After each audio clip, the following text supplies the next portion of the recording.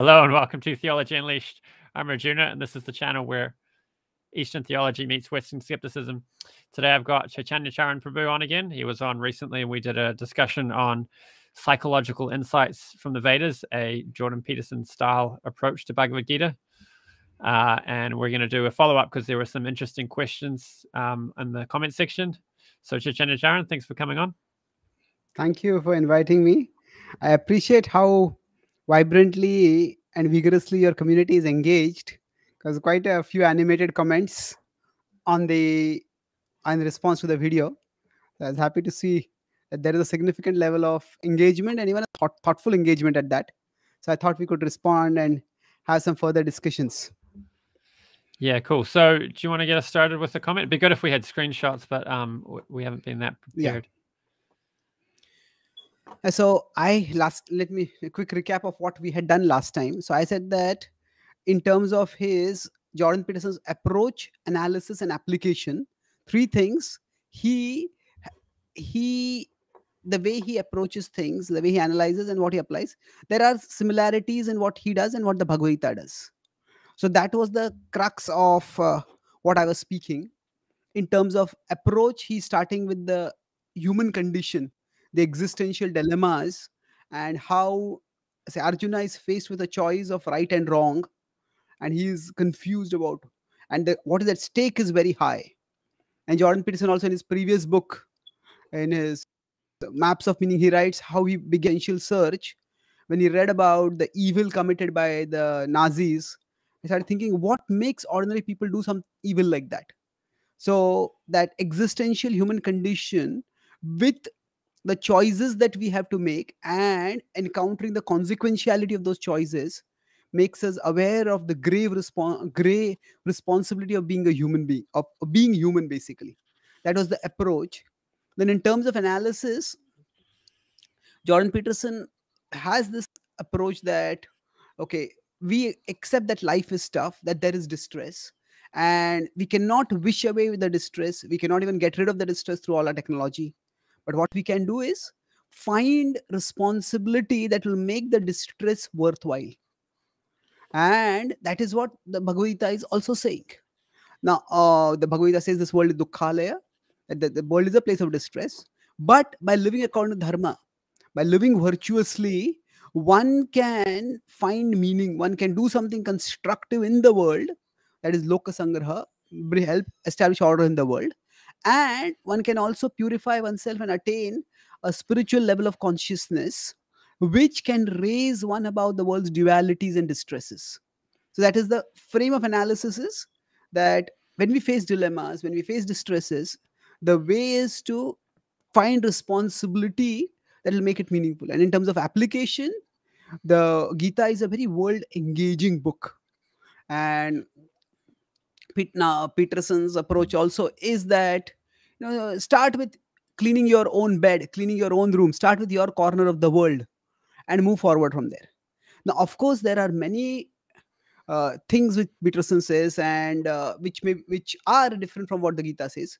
So i was broadly focusing on the approach. Now two comments i'll start with and then we can have your responses as well as uh, the audience responses if there are any questions from them that you know jordan, jordan peterson doesn't commit to anything any particular thought system and has he come to the conclusion that the gita has come to? Well that both are valid points. Firstly he is from what we can see he's on a search and he's sharing what he has learned while in his search and he's continuing his search so we could say that in the Bhagavad Gita, there are four kinds of people who approach transcendence, and one of them is the seeker of knowledge. So the seeker of knowledge is not the same as the possessor of knowledge. The Bhagavad Gita differentiates between two terms, Jnani and Jnanavan. Jnani is one who is in the earnest pursuit of knowledge. Now, of course, in the Vedic context, the word Jnani is sometimes used in a more specific sense to refer to one who is arrived at a particular depersonalized conception of the divine. But at the same time, the idea is one who is a seeker of knowledge, and Jnanavan is one who is a possessor of knowledge. So, as a, a, a seeker of knowledge is also one of the persons who is approaching transcendence. And Krishna says among the four categories who approach him, uh, he is the best. The motives for such a person, for those kind of people, they are motivated by something higher than just worldly gain. So, to some extent, Jordan Peterson is seeking wisdom and he's sharing wisdom. So, we are not endorsing his conclusions, just recognizing that there were striking similarities in his approach, analysis, and application between him and the Bhagavad Gita. Now, has he come to the conclusion of the Gita? There is not much evidence that he has even engaged much with Eastern wisdom traditions. He has studied to some extent the uh, Abrahamic traditions, and there also his focus. He candidly says that he's focused more on the psychological implications of the biblical stories. So he doesn't consider himself an expert in theology as such, and he has been on a dialogue with some some uh, Islamic leaders, for example, trying to understand what Islam's teachings are. Has he been in a dialogue with some Eastern leaders, some Hindu, Buddhist, Bhakti Yoga leaders? Not to my knowledge. At least there's nothing in the public domain that's available. And his, uh, there are few quotes of his uh, from some of the Puranic stories, but they are quite scattered. And it's clear that he has not studied this seriously nor does he comment on it extensively. So now there is, he's not committed to one path. That's true because he's still a seeker. Now he does say that he has, he's no longer an atheist and he doesn't come out and publicly say that he's a Christian. So it's Srila Prabhupada who who wrote the Bhagavad Gita as it is, who pioneered the modern Krishna consciousness movement, who presented Bhakti Yoga quite extensively in the West. You know, he was an essence seeker he appreciated uh, the good that was present everywhere. So, appreciating the good that is present in Jordan Peterson is not the same as saying that everything that he is saying is good. The two are different things. So, both in his approach and in his analysis and application, there is a lot that is good, which is similar to the Gita, and which we as Gita speakers can also learn from in presenting the Gita's message. So, the parallels were not to endorse Jordan Peterson, but to recognize that the Gita's approach also has resonance in today's world. That so that was one main purpose of having this podcast. And if we do, you have any reflections or comments at this point? Arjuna? I'm just amused at how these days, when you quote somebody or say you agree with a point somebody made somewhere, you have to give a qualifier and say, "But I don't agree with them on everything." I don't think you used to had to do that. I think you used to be able to agree with somebody on something or say they made a good point somewhere without needing to clarify that you don't agree with them on all of their other points. Yeah, that's true. Unfortunately, I think society has also become increasingly politicalized now. I have friends in America who say that you know if if their friend is voting for the other party, if one is voting for Republican, the other is voting for Democrat, you know earlier that was just whom you vote for was just your personal business and you would continue to be friends but now it's become that you be friends you cannot talk uh, can even have can't even have a civil conversation in india from where, where i am based things are not that politically polarized but what, what has happened is that because of this increasing polarization as soon as we appreciate a statement by someone who is who is associated with a particular political orientation, then it's assumed that we may well be endorsing everything that he stands for or everything that the stand that the side which he is associated with stands for.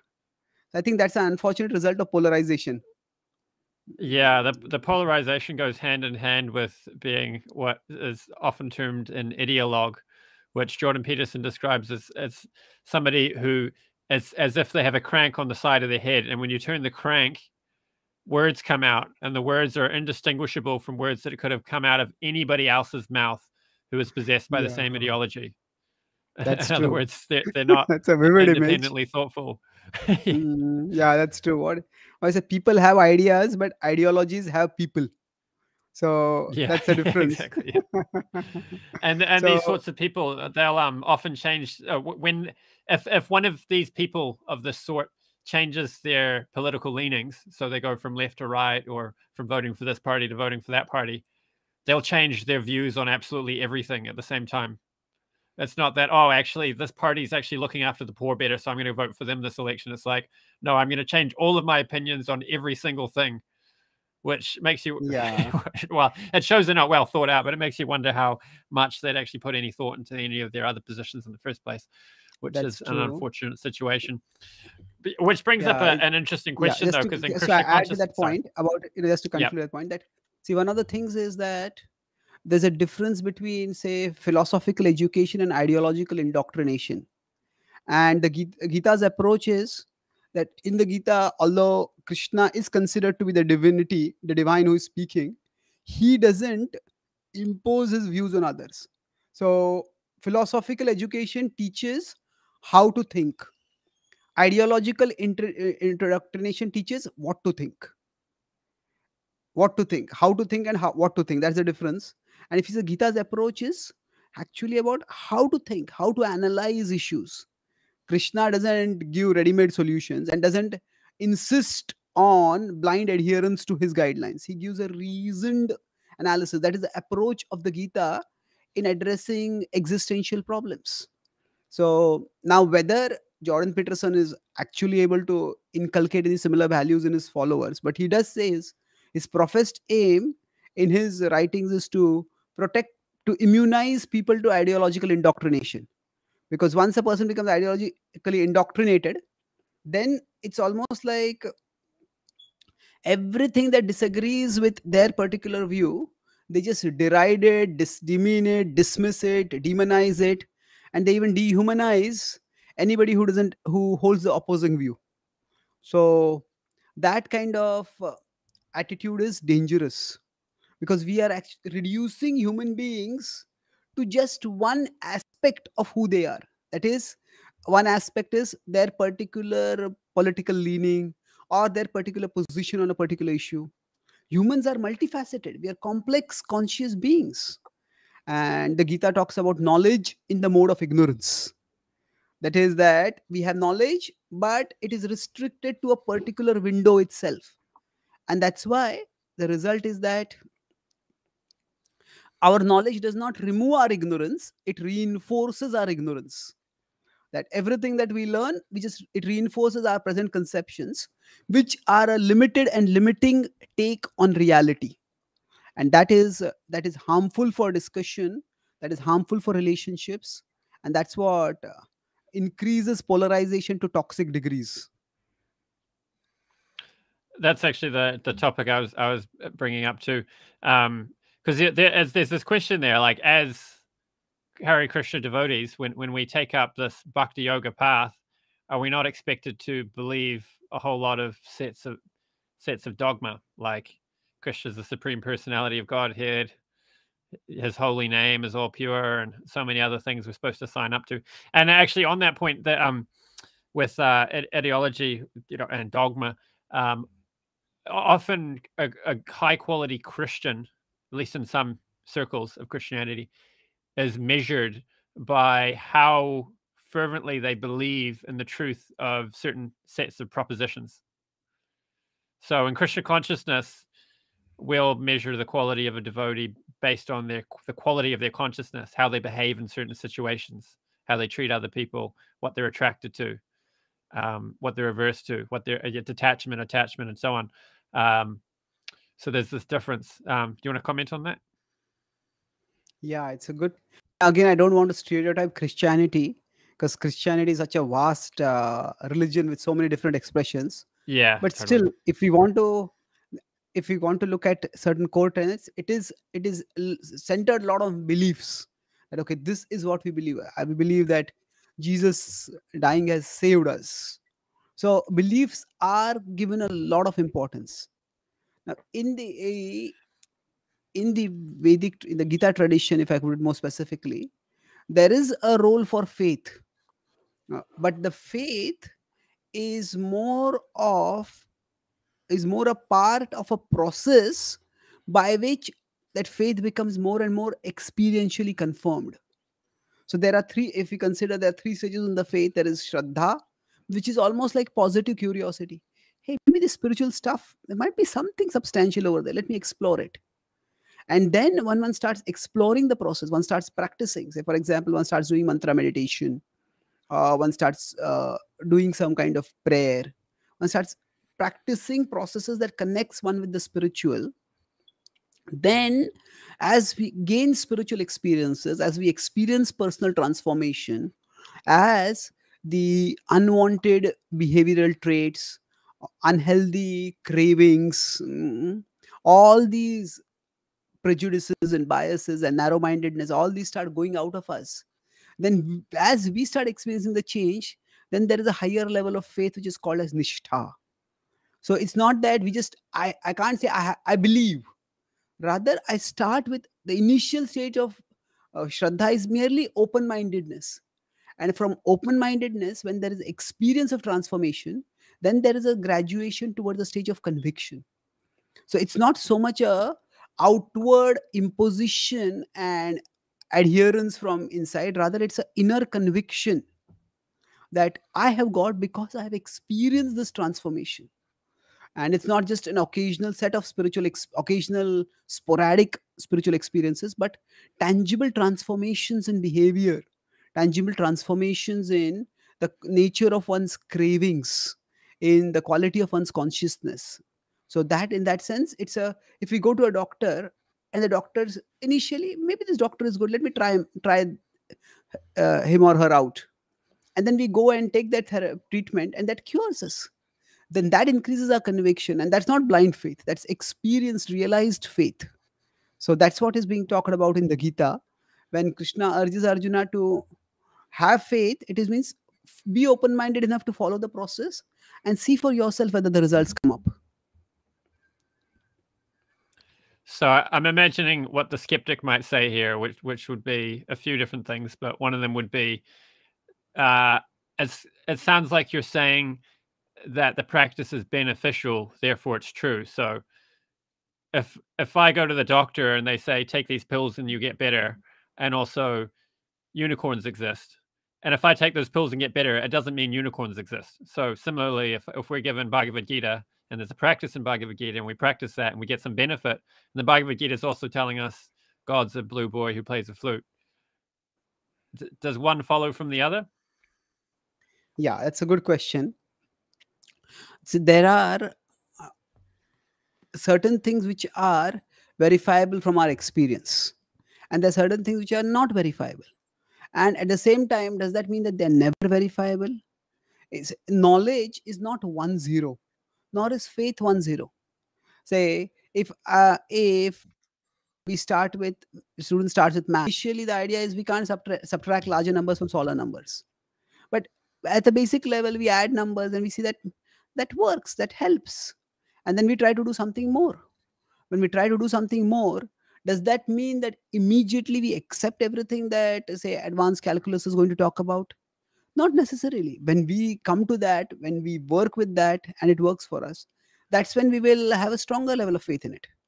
So when the gita also talks about faith yes there is there is a lot about spiritual reality that is talked about in the gita which is difficult for the rational mind to immediately comprehend or accept and it is not necessary that a, every single aspect of bhakti practice has to be seen as a proof for every single other aspect of bhakti practice. Yes they are all integrated together as a worldview but the bhagavad gita encourages a pragmatic approach. Okay this works for you. Okay then at least this works continue with this level.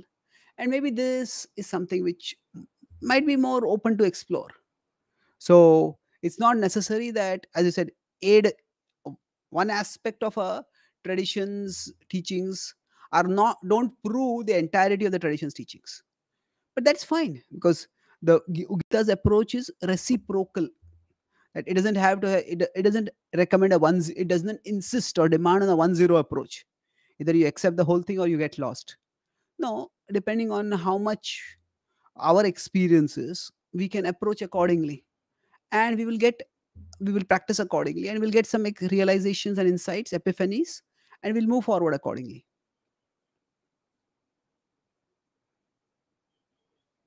does it address your question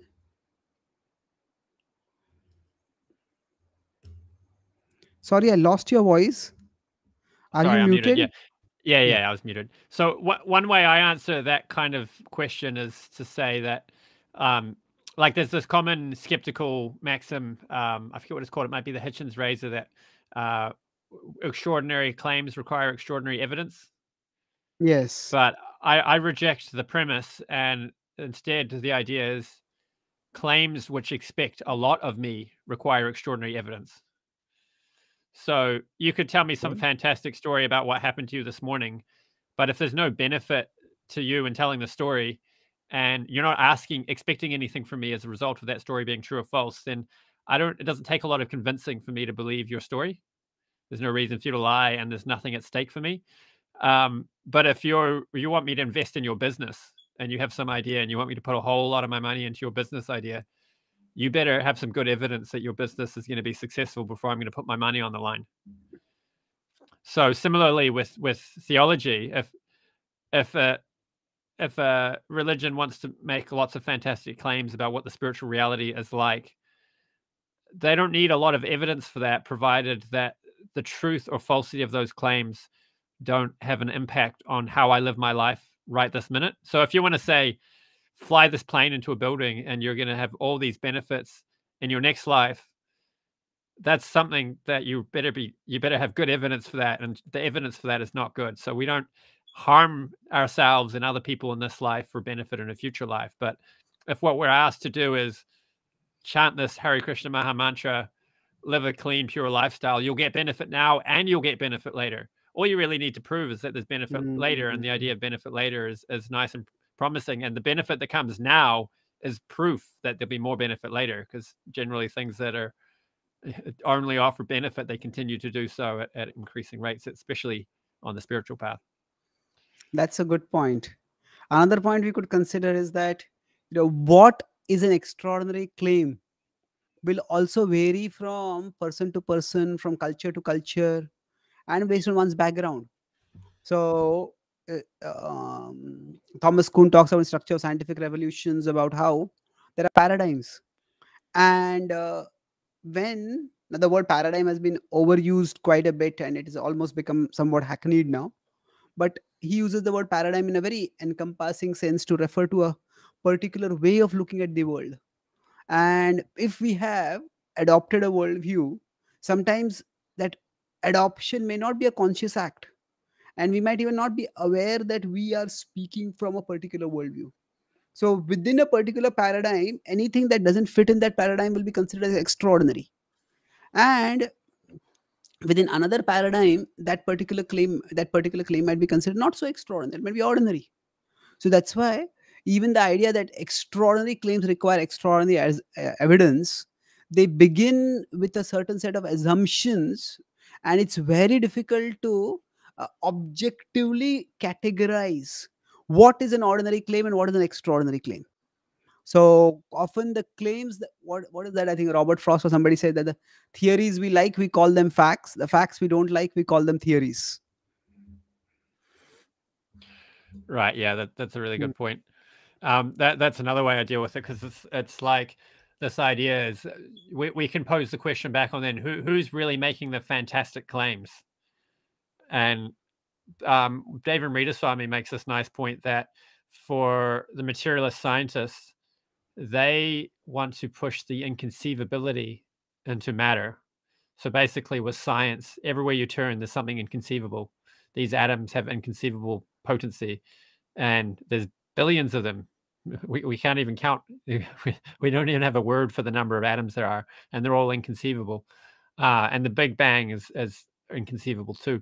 Whereas we in the Hare Krishna ontology, or in any theist really, we only have one inconceivable thing in our ontology, and that's God. But after you accept the existence of a supreme being, everything else is fully explained as a result of that. Yes, that's an interesting way of looking at it. Yeah, it's a see when we talk about Krishna, it's a in some ways there are two ways of trying to make sense of the world now, one is that we start with the world and then try to see uh, what all among the invisible is what all propositions that are invisible are rational or acceptable for us. Hmm? We could call this as a backward causation. Hmm? Okay, this is the world that exists. And now, for explaining the physical world, what all propositions can I make? Hmm, Uh, and what all propositions are acceptable? So, Newton saw an apple falling, and based on that, he proposed that there is something which he called as gravity. So, that's one approach that in the Vedic tradition is called as the ascending approach.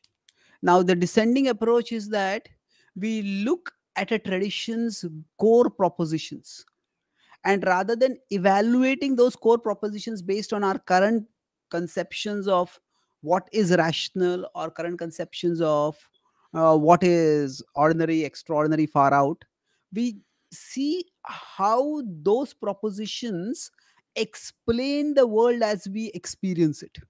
Help us make sense of reality.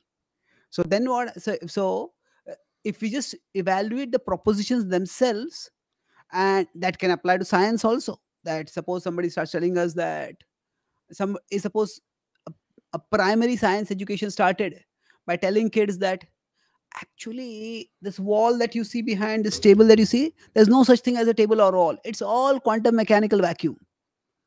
Now it's just when you look at it all the the wave collapses and you think that there is a table. You think einstein famously said that when he, he expressed his disapproval of the quantum theory that he said i would like to believe that the moon continues to exist even if i'm not looking at it. So the point i'm making over here is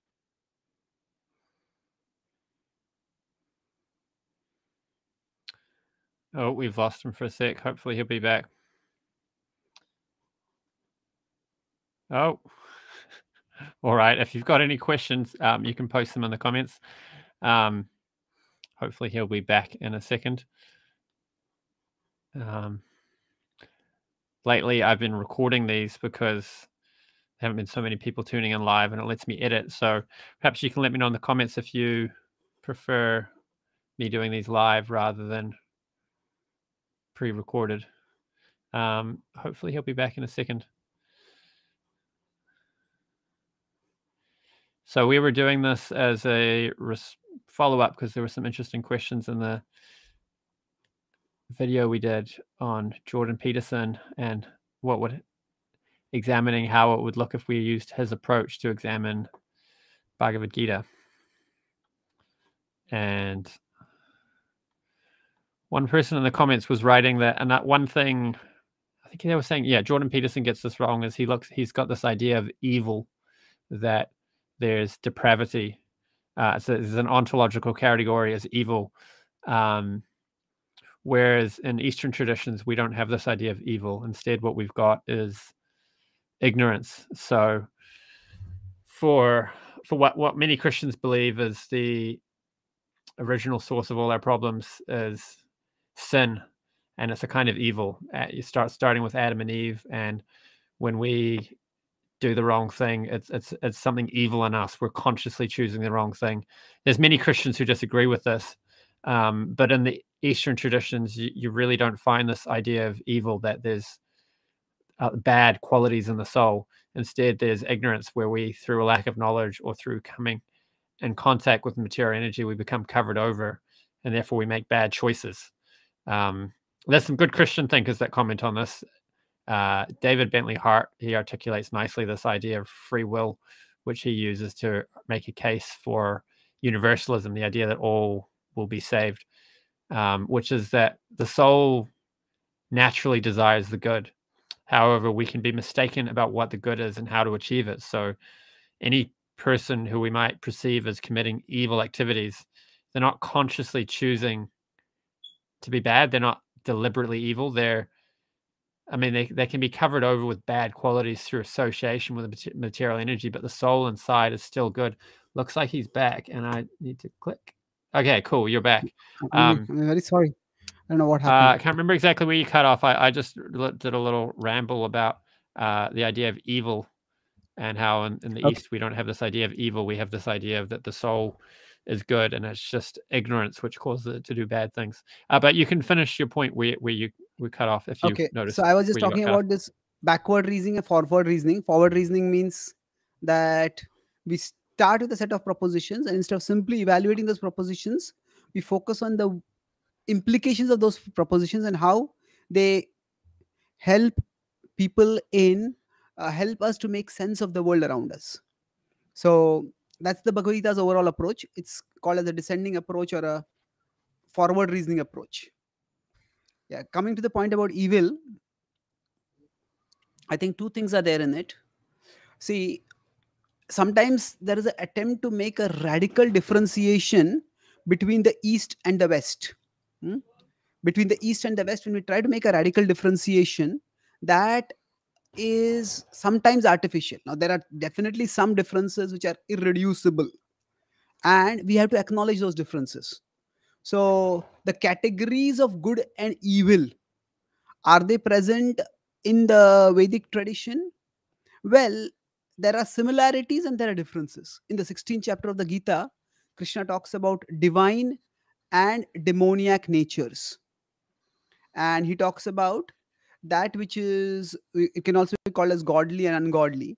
But when he describes the demoniac natures and how some people delight in causing pain to others, that is actually similar to the conception of evil. Evil, if we want, it's difficult to define it, but one way we could define it is we can say that evil is to cause suffering for the purpose of causing suffering when suffering is inflicted for some higher purpose like surgery is done or some disciplinary action is taken that's different. That's not evil. But when one causes evil because one gets joy in causing evil that we could say is the nearest we can come in terms of definition to evil mm, and to get joy in causing evil. So there is a demoniac nature which which can very very be very similar to evil now, having said that, pointed out that similarity, there is a fundamental difference that there are no living beings who are eternally evil. The soul is never eternally evil. The soul is never eternally condemned for being evil. And uh, although there is an agency that tempts us to do wrong, that is in the Vedic tradition called as Maya, Maya herself is not considered evil yeah there is satan within the christian tradition and there are variants shaitan in the arabic islamic tradition. They are considered to be evil. But in the vedic tradition maya it is the agency that uh, creates illusion but she is not considered evil herself. She is more of a per, more of an agency who tests us by providing the options. So her intention is benevolent but sometimes if we don't pass our tests the actions we may end up doing may resemble the actions done by some evil person. So in that sense evil as a category of existence evil as a set of beings who are irredeemably evil that is not there within the vedic tradition. But evil in the sense that uh, people having the inner impressions to do things uh, which are which can be called downright evil, which involve masochism, or sorry, which involve sadism, they that that is definitely a human you, that is possibility, and the Gita talks about that. So, so yes, now we could say, as you rightly pointed out, that is evil is caused by ignorance and illusion. That I sometimes differentiate between ignorance and illusion. That ignorance is to not know what to do. And illusion is to mistake what is out there. So if I'm driving and suddenly it's all dark in front of me, I, I don't know where to go. I can't see anything. That's ignorance. But if I'm driving and say I have cataract, then there might be a bump a little further away, but I see the two bumps. I see one closer, one further. So that is something like an illusion. So if it's completely dark in a desert, I can't see anything. That's ignorance. But if I see ahead and I see a mirage and I think of it as a water body, that's an illusion. So ignorance is to not know, illusion is to know falsely. So the cause of evil in the Vedic tradition, so evil itself is not a cause of people doing bad things. Rather, evil actions are the result of a deadly combination of ignorance and illusion I think one of the key differences is that idea of whether the soul, whether whether the bad qualities go all the way down to the bottom, or whether underneath all of that there's a pure soul inside. oh yes definitely there's a pure soul underneath that is that is a categorical declaration that no matter how how disintegrated or degraded a person's presence behavior might be no one is considered irredeemable and that's because at the core the soul is always pure. And in many ways this is the difference between we could say the spiritual and the ritual. The ritual way of looking in any religious tradition including what we can call the broad vedic tradition if if one is only ritualistic oh this person's behavior is so terrible this person is so ter- terrible this person's actions are so terrible and they are condemned because of that. That's the ritual way of looking at it. The spiritual way of looking at it is that okay, whatever be their present actions now below those actions below the inner impressions that lead to those actions below beneath it all is a pure soul. There's a well-known verse in the gita 518 which talks about how the wise purpose person has an equal vision towards everyone. So it's it's it's equal vision towards all human beings and indeed all living beings including all animals also. Because we see the spiritual potential that is always there in everyone no matter how deep that potential may be buried right now I, I think another um, thing back on Jordan Peterson on this point of, um, I think some people misunderstand him too, or um, or maybe I'm misunderstanding him and passing him in a more positive light. But to me, it seems like when he he talks about this idea of evil, he's he's using language that makes it sound like he's talking about irredeemable depravity and an ontological category uh, of evil that's existing, um, rather than it just being ignorance. But I think you can just substitute out a few of those ideas, and all of the points he's making make just as much sense if you assume he's talking about ignorance. Uh, like, for example, when he when he uh, ponders about what caused the horrors of the Holocaust, he talks about we we should shouldn't underestimate our ability to do evil. Um, which I think is an, a nice meditation. It's good to be humble and, and think that we're capable of bad things if we're in the wrong situation with hang out with the wrong people and make the wrong decisions and so on. Um, but I think you can just interpret him as talking about ignorance rather than evil. Mm, that's true. Now, in one sense, if we very strongly believe in evil, we end up believing that people cannot be reformed, or at least some people cannot be reformed. And if we talk about Peterson's talks, he wanna when he becomes sometimes quite emotional and candid, that is when he talks about how he's moved when people come and approach him and tell him how their lives have been transformed by hearing his talks. So, uh, in general, it'll, require a very skeptical person to believe that uh, people cannot be transformed, that people cannot change themselves for the better. Now, of course, it's naive to think that everyone who makes an intention or a proclamation that they will transform will get transformed and so is there something that is and I- he i don't think in any way he's saying that uh, there is there is that everyone who does something evil will go down on the path to irredeemable evil but the danger is there the danger is there and that has to be acknowledged. That in the gita tradition there is this concept of samskaras. Samskaras are inner impressions. And these inner impressions grow. So the example i i like to give is of a snowball. Now, when the snowball is on top of a hill it's barely a snow pebble at that time. You could just flip it with our, our finger or our toe and it'll break apart but then as the snowball starts coming down down down it gains mass and it gains momentum. It becomes a snowball maybe by half the way down the uh, a big snowball by the way half down the hill. And by the time it comes down to the bottom of the hill it might have become a snow boulder. And that same person who would have flicked them with it over with a toe might be completely bowled over by it. They might be crushed by it.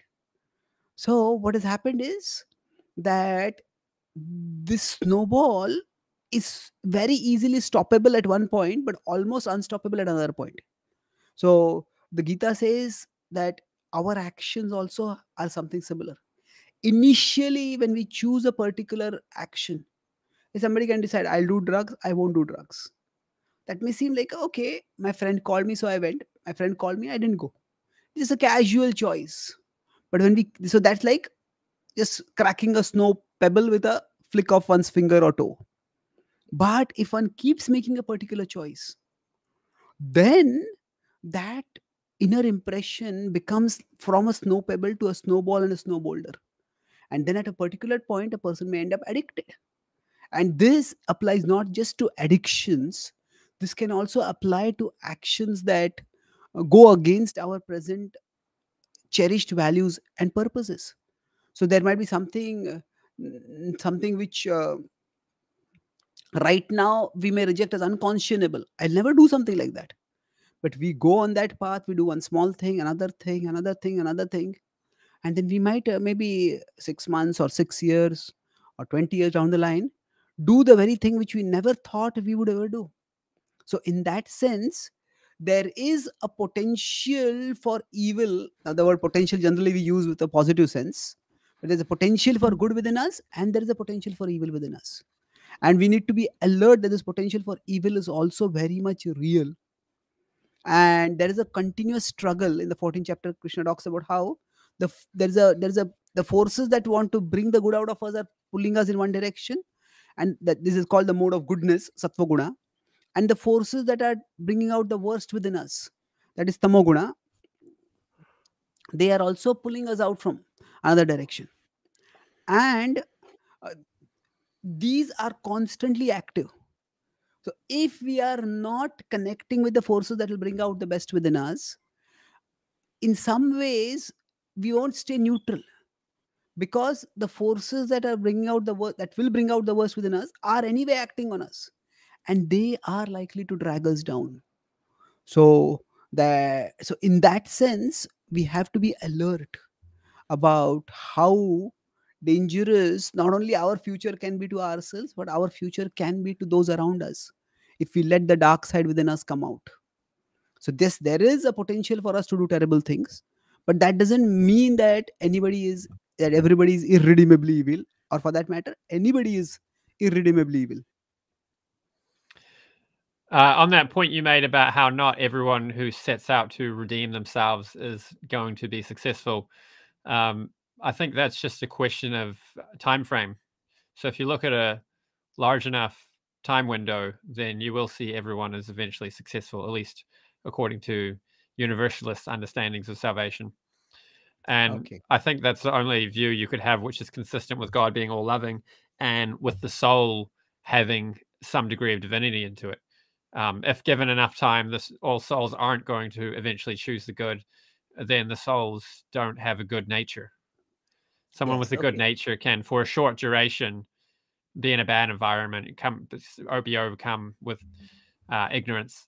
Uh, but given enough time they'll sooner or later figure out that this this is suffering i'm not happy here i want a better life and they'll seek out better association and make the right choices. All the while and all loving god is giving them the varieties of experiences they need to learn and grow and putting them in association and giving them opportunities to pick up on bhakti, but to pick up on good, good association of other people who are uh, elevated in spiritual consciousness. Agreed. Now, it all depends on the f- f- time frame. See, the, as rightly said, that eventually the soul's potential for goodness will manifest and will win out. That is both the soul's potential and divine grace that will work that way but how long that will take can make a huge difference for that particular individual and for the world around that individual. So there are times uh, or there are situations when considering the ultimate frame or the big big frame is helpful. And there are times when considering the big frame may not be the most helpful. That's something which each of us as individuals has to consider. So that means if i'm walking along a road and i see a small uh, like a small child crying maybe with a bloated belly and clearly sounds signs of malnutrition and if i am in a position to help maybe offer some food to that child and if i think no after 100 years this child will be dead. So what difference is it going to make? Well that is not the frame of reference in which we should be thinking right now. Can i do something to help right now? If i can let me do it so just because we cannot uh, our help may not be help may not turn out to be helpful in the big picture or in the bigger picture that doesn't mean that we shouldn't help. So so so in terms of understanding god's grace knowing that everybody will be eventually redeemed that is valuable. But in terms of taking individual responsibility it's important to remember that that that eventually may be such a long time away better let me get my act together as quickly as possible otherwise i am in for a lot of uh, avoidable suffering myself and i may end up causing a lot of avoidable suffering to others so i what i agree with what you're saying but there's there two perspectives once when we are trying to define the principle of a good god and the other when we are trying to emphasize the role of individual responsibility Cool. Uh, all right, we have a question. Um, Ritesh is asking, what is your opinion of him having a complete carnivore diet? yeah that's a that's a question which i get often when i talk about jordan peterson. There are two things over here. From the vedic perspective we strongly recommend uh, uh, meat free violence free diet because all living beings have life. And why inflict pain when we can avoid it. So i won't go into the ethics of a vegetarian diet right now but that's what we broadly recommend. Now having said that uh, when jordan peterson is taking a completely carnivorous diet it is not for taste. From what i have read he doesn't even put much any spice or other kind of stuff. It just it just uh, raw meat almost which he's taking. And he has found that that improves his health or at least protects his health from whatever cha- health challenges he's facing. So i i i am open to the idea that this world is complex enough for me to recognize that there can be exceptions to general principles. So even in the indian school of thought called ayurveda while broadly the indian knowledge systems move towards vegetarian ethos there is an acknowledgement of non-vegetarian ingredients for medicines or even medicines that are entirely involving non non-vegetarian ingredients itself. So is he actively propagating that diet to others? Is it that if thousands of people were adopting that diet because he were aggressively endorsing it as the way for everyone to lead a healthy life then i would definitely consider that to be a, a- toxic influence. But that is a that is what the diet which he has found helpful for him. And i haven't seen many many or even a small number of his followers adopting that diet per se. So his primary teachings are not turn to a complete carnivorous diet. His primary teachings are take responsibility for your life. For example whether you consider his first book of 12 rules or his book of maps of meaning or his later book. None of those books say that you have to eat a car- carnivorous diet.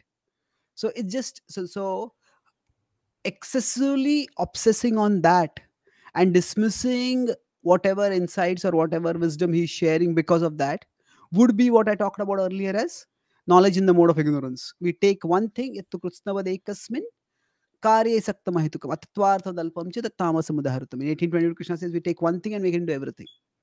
And so i don't think that needs to be that that's definitely not something which is uh, which which is uh, which is recommended in the Vedic tradition. Which you know, if he could maintain his health through some alternative diet, and the Vedic understanding is that his consciousness will be even more elevated because food that is in obtained by killing of animals, even if one is not doing it oneself, does decrease our own consciousness, lower the level of our own consciousness. Because to some extent, we have to close our consciousness to the pain that we are causing other living beings if we are to objectify them enough to see them as eatable food So if he could have avoided that, that would be much better. But I don't think his taking that is is the sole basis on which we should evaluate his overall contributions because that's not what he's advocating for everyone. I guess that's related to a similar question that a lot of Hare Krishnas have, um, because we look at Christian saints sometimes and think these people seem quite God conscious, or sometimes we meet Christians and we think these these people seem to have some real bhakti, but then we also think, but they're eating meat. How is that possible that someone who is paying for other people to slaughter these animals in very cruel ways could have anything approaching spiritual consciousness? Yeah. This is one of the principles that we may tend to forget that even in our own tradition, bhakti or the divine grace that leads to divine love, that is that is considered to be independent of all worldly circumstances. So there is a there is a process by which we can attract divine grace and divine love, but we can't restrict divine grace and divine love so sometimes eh, by by the independent by that divine independence that love that grace may manifest in some people who may not be conforming to the exact behavioral norms that are recommended in the tradition for spiritual growth. So that's why there is a there is a recommended process for us to attract divine grace. But that does not mean divine grace is limited to only those who are following that recommended process. That would go against the principle of divine independence. Perhaps there's an element there of a sort of childish. Why does he get to have that and I, I only get this? But I, like I think in spiritual shelter, you join a, a, particular spiritual movement or a particular church, and you're getting some nourishment from God through that sangha. And based on the group, you know, the family that you're in, there's certain expectations of you in your spiritual discipline. And as as Gaudiya Vaishnavas, we have quite a high amount expected of us, and Christians have less expected of us. And we could think, how could a Christian who's got less expectations than I'm having to, to honor be getting more bhakti than me? That's not fair. Why can't I have some? Why can't I work less? Yeah. This is where the comparative mentality can be a problem because we don't know what is their past? If if we accept our own tradition's principle of reincarnation then everybody's in a multi-life journey of spiritual evolution. And that means that yes maybe the in particular kinds of behavior uh, they might be off in some ways. But does that mean that they are they may not have maybe some of them have done more spiritual practices than what we in their previous lives than what we had done in our previous life and maybe circumstantially they're put in a situation they're born in a, a condition or a country or a culture where certain behaviors were the norm and they have adopted that. So uh, there are our spiritual practices can either lead us to humility where we acknowledge the the complexity of the world and the complexity of god's actions in the world or our spiritual practices can lead us to certainty where instead of humility and we equate that certainty with faithfulness or non-compromisingness and we think that anything that doesn't fit in the picture of the world that we have acquired that is either wrong or wrong or misinformed or we just try to reject that. So i feel the second comes up then it is a problem one of the defining characters of the of a person on the spiritual path is humility. Humility means that the world may not conform to my expectations. Even if those expectations are formed based on my under my current understanding of my spiritual tradition the world is much more complex than that. Um there's a follow up question, but won't he suffer in hell for millions of lives once he leaves this body for all the karma? Hmm, that's a good question. You know, in general, my understanding is the principle of karma is meant to make us more responsible in our present choices it is not meant for us to make grand pronouncements about others future destinies. Because you know who are we? Yes a person's particular actions uh, may be wrong but it's not that the future is determined only by that set of actions. People ex beings and people do various kinds of actions so is it that this one uh, action alone is going to de- determine some a person's future destiny? Or is it that uh, the sum total of all the actions that a person has done that is going to determine their destiny? So my understanding is the second. We can't just reduce a person to one set of actions. And then the question comes up if it's is it that simple because if somebody is taking taking a diet primarily for health purposes then is it food or is it medicine? If it is considered medicine then in in our tradition based on the ayurveda you adoption of the indian system of medicine is called ayurveda. As i said in ayurveda uh, non-vegetarian medicines are sometimes told recommended. And although spiritualists try to avoid that but sometimes no alternatives may be accessible. And sometimes non-vegetarian medicines are taken. So does that mean that the doctor who prescribes such a medicine or the patient who takes such a medicine are of them are going to go to hell for that? I think that we also have to consider the intent. It's not just the content of the action what is being done but the intent also. So this is the, I, I fear that there is a certain amount of uh, lack of humility when we pronounce what is the destination of a of any person in the future. Do we know the totality of the actions they have done even in this life what to speak of their previous lives?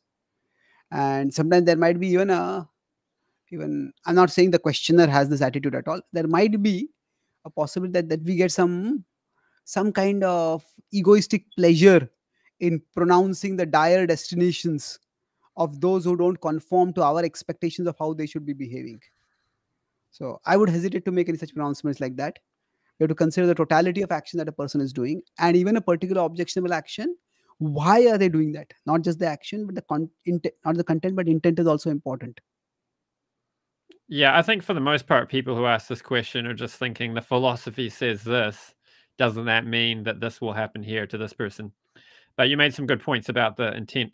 There's um, one atheist YouTuber turned um, vegan YouTuber who who makes some really good arguments against um, meat eating and in favor of veganism. And one of his good arguments is: imagine if I paid people to kill pigs in a really horrible way just because I really enjoyed the sound that they make as they're dying. The screams that come out of their vocal cords as they're dying are just really satisfying to my ears. That's why I pay these people to torture and kill these pigs.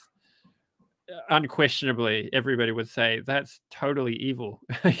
that's completely heinous. How could somebody do such a thing? However, when we do the same thing, you know, the pigs are a classic example because I mean, sometimes Christians will do it. It's a meme. They just post a picture of bacon and say, "Here's proof God exists." It's like they're they're paying for these animals to be slaughtered in a horrible way for the pleasure of their tongue. That's a completely different thing. So, like, I've listened to Mikhaila Peterson tell her story. She had horrible health. She's had joint replacements. She was crippled due to, I think, rheumatoid arthritis for most of her, her life. And then the only thing that gave her any respite was going on an all meat diet. And then her health transformed overnight. Now, if I was in her situation, I I I imagine I would probably eat the meat if it meant I wasn't living in excruciating hell every day. I, I don't know how many people would be, we can say, saintly enough to live in excruciating pain with terrible, debilitating health. Uh, if it meant they didn't have to make any animals suffer. It's it's a it's a completely different situation from what most people do when they eat meat. Now, I don't know Jordan Peterson's the details of his health. He doesn't like to talk about it, which is goes back to the point you're making. Jordan Peterson doesn't use his platform to push his diet. When people ask him about his diet, he's like, "Oh God, you're going to ask me about that, are you?" I was hoping not to talk about it. That, that's kind of his mood. He, he he will explain it, but he's not he's not preaching his diet. He's he's doing he's preaching other things and. Uh, the things that he does speak on, he, he I think he speaks thoughtfully and well.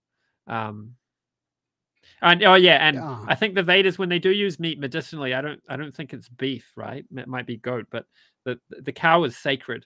So if if we were to eat meat for medicinal reasons, we would avoid the cow and prefer other kinds of meat. Yeah, that is true. That's true. So overall, uh, we need to when we look at the teachings from a particular tradition there is a tendency to take one statement from that particular tradition's body of knowledge and apply that statement to one particular situation. But context is critical. That is that the only teaching of the tradition? Are there other relevant principles or teachings from the tradition that will apply to this particular context so when we have this uh, when we just take one teaching and apply it then that that can give us some uh, some understanding. But if we make that claim that to be the holistic understanding or the complete understanding then we uh, we may set ourselves on the path to serious errors. Because uh, you know, people are not just reducible to one behavior and people's destiny cannot be reduced to their one particular choice alone especially if they themselves are multifaceted and they're doing multiple things. So that reductionistic tendency it's not just uh, present uh, in say science which tries to reduce uh, reduce reality to phys- the physical or the material level but that tendency may be there even within spiritualists. It's ironic that one of the key principles of bhakti is is sarvopadhi muktam that become free from all designations but unfortunately uh, when we become spiritualists we try to put designations on everything. In fact we try to reduce everything to designation. Oh this person is a meat eater. This person is this. This person is this. Oh yeah meat eating is one habit that they have. But that doesn't define the whole of who the person is. Just like somebody who doesn't eat meat. Are all the people who are vegetarian of the same equal spiritual caliber well there are people in goodness passion ignorance and there are people who are spiritualists. Among those who are not eating meat. Just as there is variety over here there is variety over there also. So yes meat eating is that i like the example which you gave out. Equating taste with sound very provocative and uh, pointed example.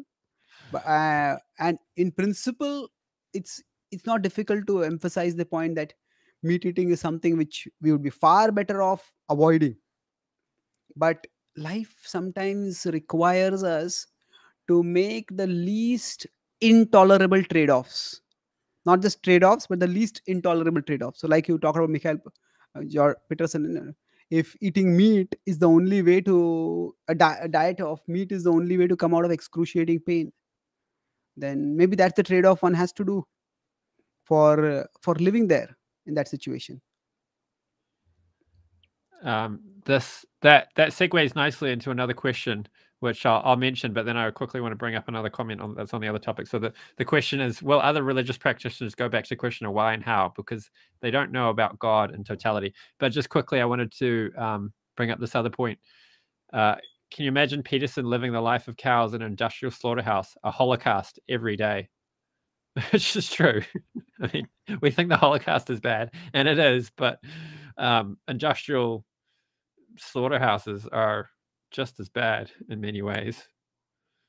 Yeah. Um, yeah. So, so back on this question about um, practitioners of other religions. Yeah, I think about vegan. He said he was asked a question once, and he just says to everyone their choice. He seemed to be non-committal about that, but I'm I'm not sure whether he's actually encountered the gravity and the brutality that goes in the, as you said, the industrial slaughterhouse, industrial slaughterhouses. Yeah, that's a good uh, thought exercise to contemplate for us and possibly for him also to experience mm. i mean there is some amount of like in new zealand there's wild deer and goats and if you let with the population gets out of hand it, it's actually bad for the for everyone it's bad for the environment and it's even bad for the deer someone was telling me a story he there's this hunter he knows he goes and hangs out with sometimes he goes hunting and he's worked his way through this area of bush in new zealand uh, cutting down, cutting back the deer population. And the deer in that area of the bush are healthy. You look at them and they're they're they're plump.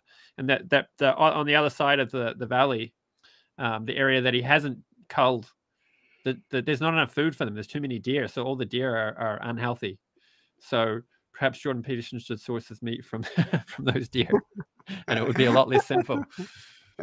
yeah, um, you know, Prabhupada would also say, but, Prabhupada also say that if somebody has to eat meat, let them wait for the animals to die naturally. It will just require some amount of delay, some amount of preservation of food, and let them take food after that. Let, let them eat meat after that. That's also a possibility. And coming to this point about uh, nature, the natural ba- nature involving some balances, the Bhagavatam also talks this principle that one living being is food for another. So, in that sense, even humans have been given some canine teeth uh, if we want to eat meat. But our canine teeth are nowhere like uh, the teeth of uh, lions and tigers, where we can rip flesh apart with our teeth. So, meat as a small part of one's diet, considering that out of 32 t- teeth, how many of our teeth are canine? So, then that proportion, meat as a part of the diet for some people, uh, it is something which has always been a part of history, you and human society. But what is the big difference now is is not that to restore the balance of population of certain species that those animals are being killed rather animals are being mm. specifically grown grown like yeah. crops or um, you can say even grown like industrial products where where they're crammed together where they're given artificial fertility and growth drugs. And they are being completely objectified. So that is very very different from any form of traditional meat eating that mm, definitely. that existed in human society in pre-industrial revolution times. Yeah um just quickly on that point someone saying once they they were asked by a friend where is it said that you can't offer meat? Yeah so now there are two different things over here. The bhagavad gita is not primarily a book that is giving guidance like complete guidance about food and everything about life. The bhagavad gita is spoken on a battlefield to address a particular existential dilemma, uh, a particular ethical dilemma. And while addressing that dilemma, it talks about uh, various philosophical points that are relevant immediately to that particular context. So, for example, the Gita doesn't directly talk anything about proving the existence of God why because that is that is an important philosophical question but that was not an important philosophical question for arjuna the student of the gita. That was not the question for him in, in his condition or even in his state of spiritual evolution. Similarly in his particular uh, context the question of diet was not the primary question for arjuna. And that's why that is not what is explicitly addressed in the Gita. So when he gives, when whenever Krishna talks about diet, for example, he says, "You can offer me a fruit, a flower, a, a glass of water, a little leaf also, a leaf also, a little water." He there he's not giving a complete dietary prescription.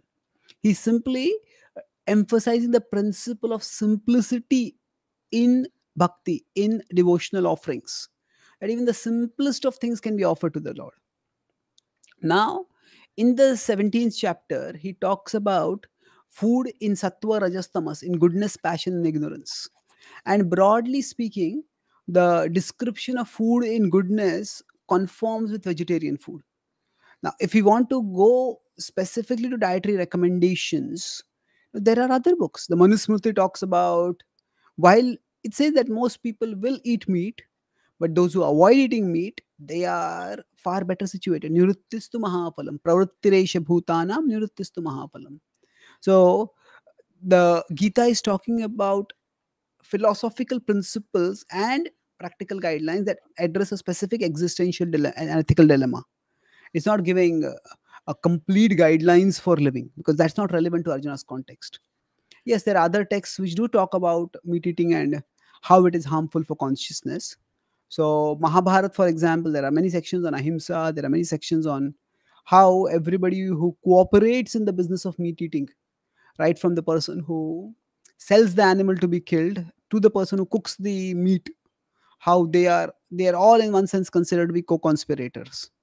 So yes, in the Gita there's no explicit mention, but in the broader tradition there are many mentions like that. Um, let's go back to that question on. I think it's this. Yeah. Yeah. So, will other religious practitioners- practitioners go back to Krishna?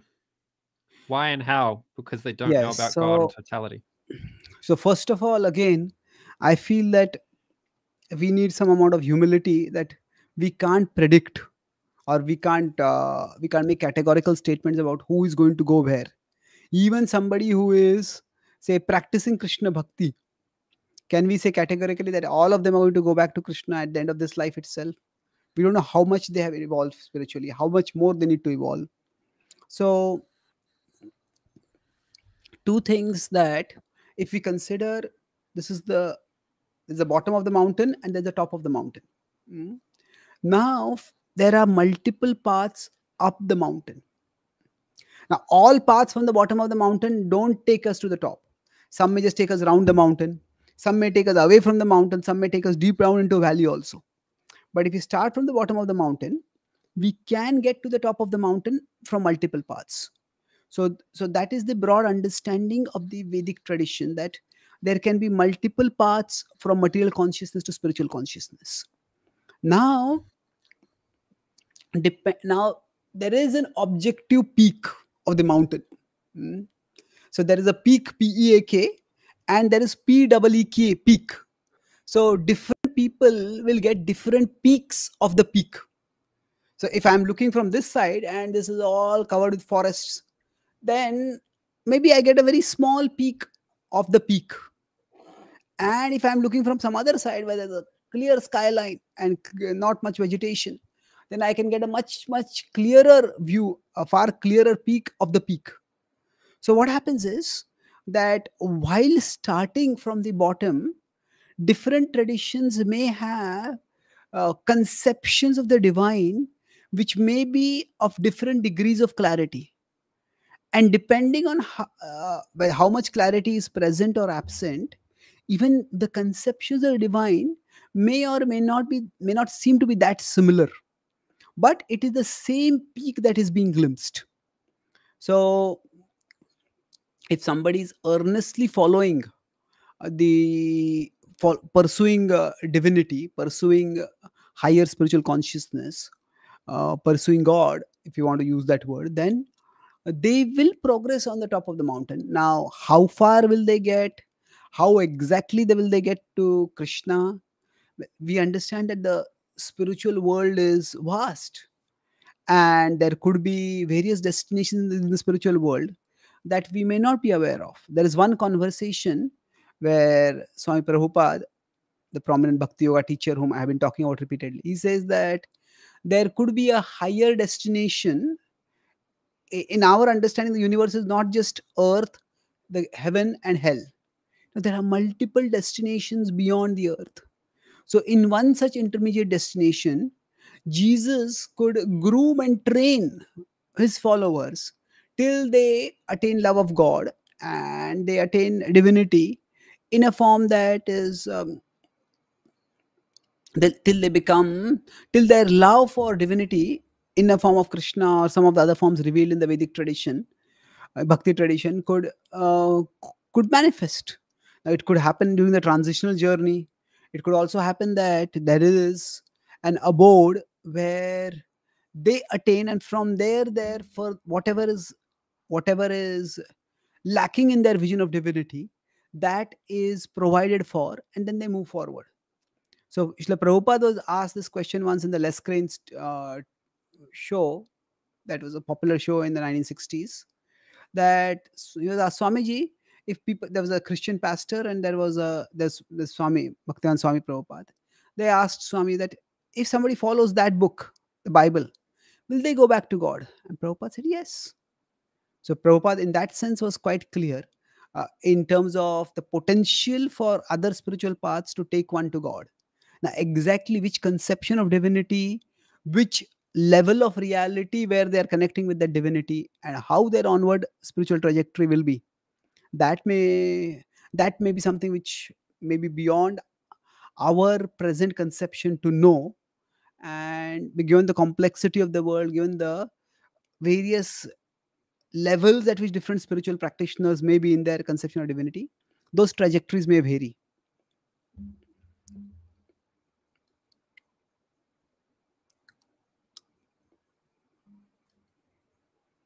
Sorry, you are on mute, Prabhu. Sorry. I was just saying I've forgotten what I was going to say next. Um, okay. Maybe we'll move on to another one of these questions then. Uh, which was it?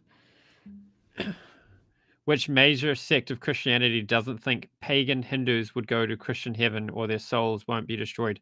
Which sect has rejected verses from the Bible abusing idol worship? So I, have been someone in the comment was saying I'm I'm too uh, I'm casting Christianity in too good of a light, and then I said I, I have to acknowledge the mature sects of Christianity because some of my viewers are in those camps. Um, Okay. So then I think they're asking, well, which Christians? This is another person. I think they're asking, well, which Christians is it? Um, so I don't know if you have much to say on that. I can comment a little. Yeah. Okay. I mean, which Christians? Well, Richard Rohr is one person who has written a book called Universal Christ, where he does talk about how Christianity has uh, uh, has he, he talks about Jesus as a specific and important instantiation of the universal reality, which is Christ. So he's one prominent teacher who talks about uh, he's a christian monk catholic monk who talks about the the point that god can manifest in different forms. Now specifically idolatry is something which uh, is strongly critiqued in the christian tradition. But the idea that uh, uh, that people can go to god through different paths yes many mainstream versions of christians may not accept it but there are a um, small but significant number of individual teachers within christianity who have accepted the idea that uh, things may not be as black and white as uh, as has been taught. David bentley hart is also another person who has talked about universal redemption even if somebody doesn't accept jesus as a savior. So there are a few thinkers within that. But uh, I won't say that just because they have negative views about us, that means we have to have negative views about them. Uh, I, my experience with Christianity, because uh, initially when I started doing this kind of uh, philosophy of religion work, I, I, wanted to suss out, well, what is it? What are the philosophical differences between the different Christian denominations? Um, but I've come to realize that largely the philosophical disagreements transcend denominations. So you'll find Catholics or any kind of Protestant who fall anywhere on a number of philosophical questions. Uh, the things they differ over are um, a lot of them are, are ritualistic or, or practice based, like whether you, when you're whether you dunk them or how many times you dunk them or whether you can just sprinkle some water on their head and they're baptized and and things of that nature that that explains a lot of the differences uh, that you get some differences between protestants and catholicism um, but some of them are just differences over which church authorities accept. So uh, there's not going to be an answer of the this denomination of Christianity has this kind of universalist view. Instead, what you have is um, a collection of Christians who could be in any any number of denominations who will accept David Bentley Hart's view or, or the view of some of the Christians you named. Uh, John Hick is another one who's got some universalist views. Uh, as for whether they reject the Bible verses abusing idol worshippers, uh, we have to interpret the word idol. Well, we it's open to us. There's it's there's a case to be made that you can interpret the rejection of idol worship that the Bible puts forward as rejecting uh, something different from what we do when we worship deities in Krishna consciousness. So I've heard some Christian thinkers commenting on idol worship nicely as it's when you give undue importance to something. So what we, yeah. we're speaking at the beginning of the stream about uh, when people are possessed by an ideology, what they're doing is giving too much importance to one idea or a collection of ideas, and that's eclipsing other things. Uh, and anything other than God being the thing in the center that you give most importance to is going to create problems. God is a broad enough of a thing or an idea or, um, that when you put place God in the center, you don't run into these problems if you place a very small understanding of what God is in the center, then you can get religious fanaticism and religious violence and so on. Um, but that's because the thing you you've placed at the uppermost is the wrong thing. It's too limited. Um, and that's what creates the problem. So that the rejection of idol worship, I, I, think, makes sense to, to put it that way. When you're worshiping something that's not God in a way that is only fit for God. Also, we need to point out that the Sanskrit word puja is not the same as the way the Christians use the word worship. Uh, it's the same yeah. word that you might use for a statement like "Thou shalt honor thy mother and the father." Puja just means to, to give honor, to, to pay homage and respect. Whereas worship, Christians use it for something that's just for God.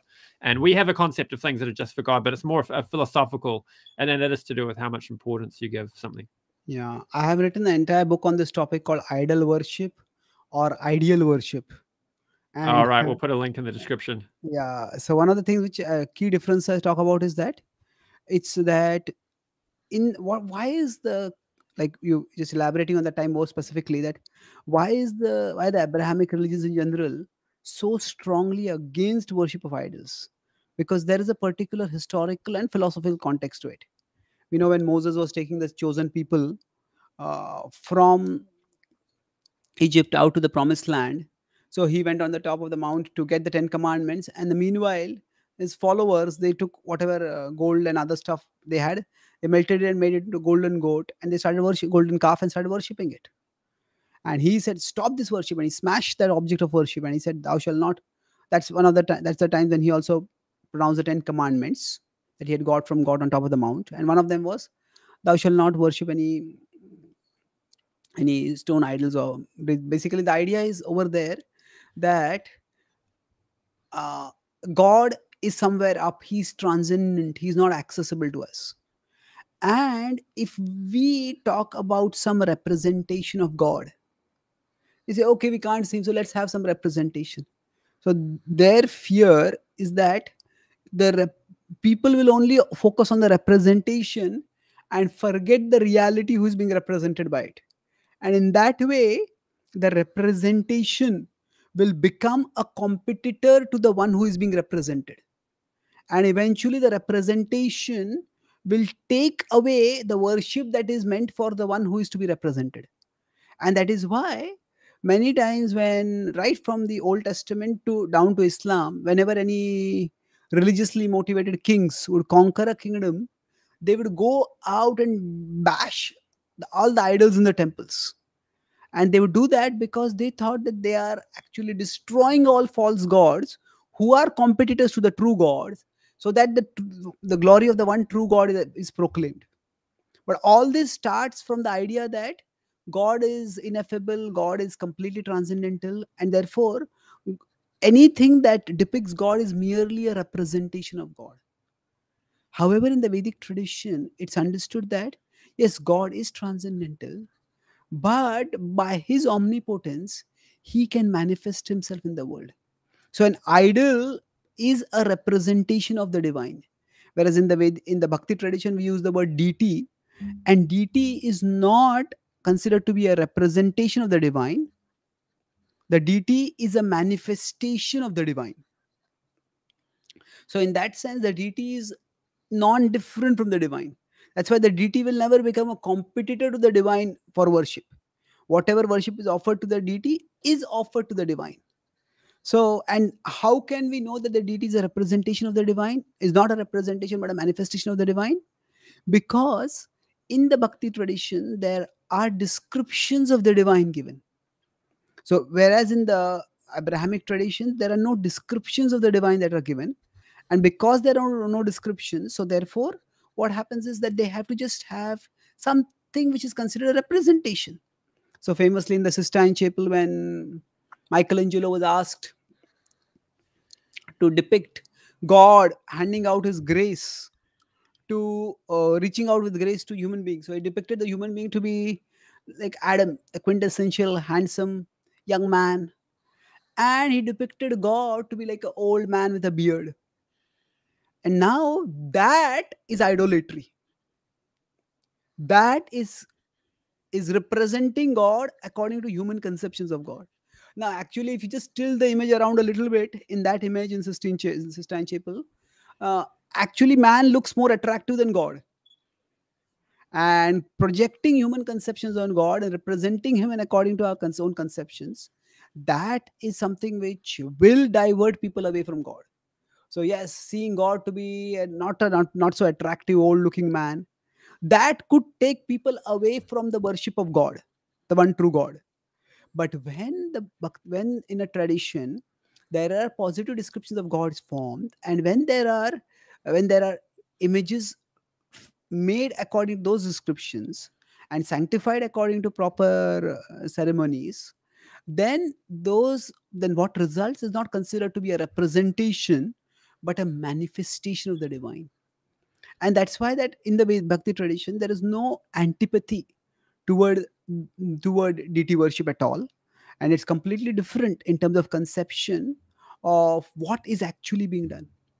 Now i have read about there are there are quite a few uh, christians who have seriously engaged with the with the bhakti tradition also.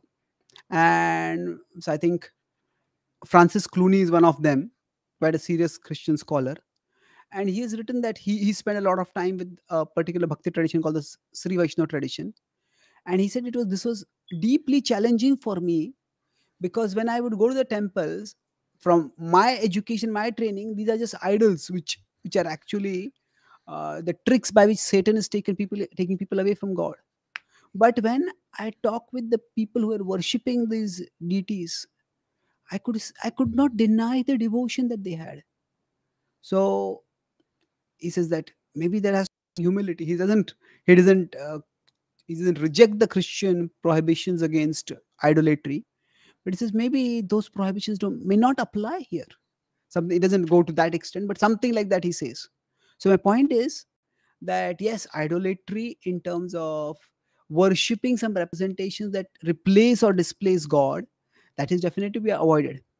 But deity worship in terms of giving for our senses a tangible object that can connect our consciousness with the divine, that is that is a different category of activity indeed and that is what has for has enabled millions for millennia to experience proximity to God through the worship of the deity.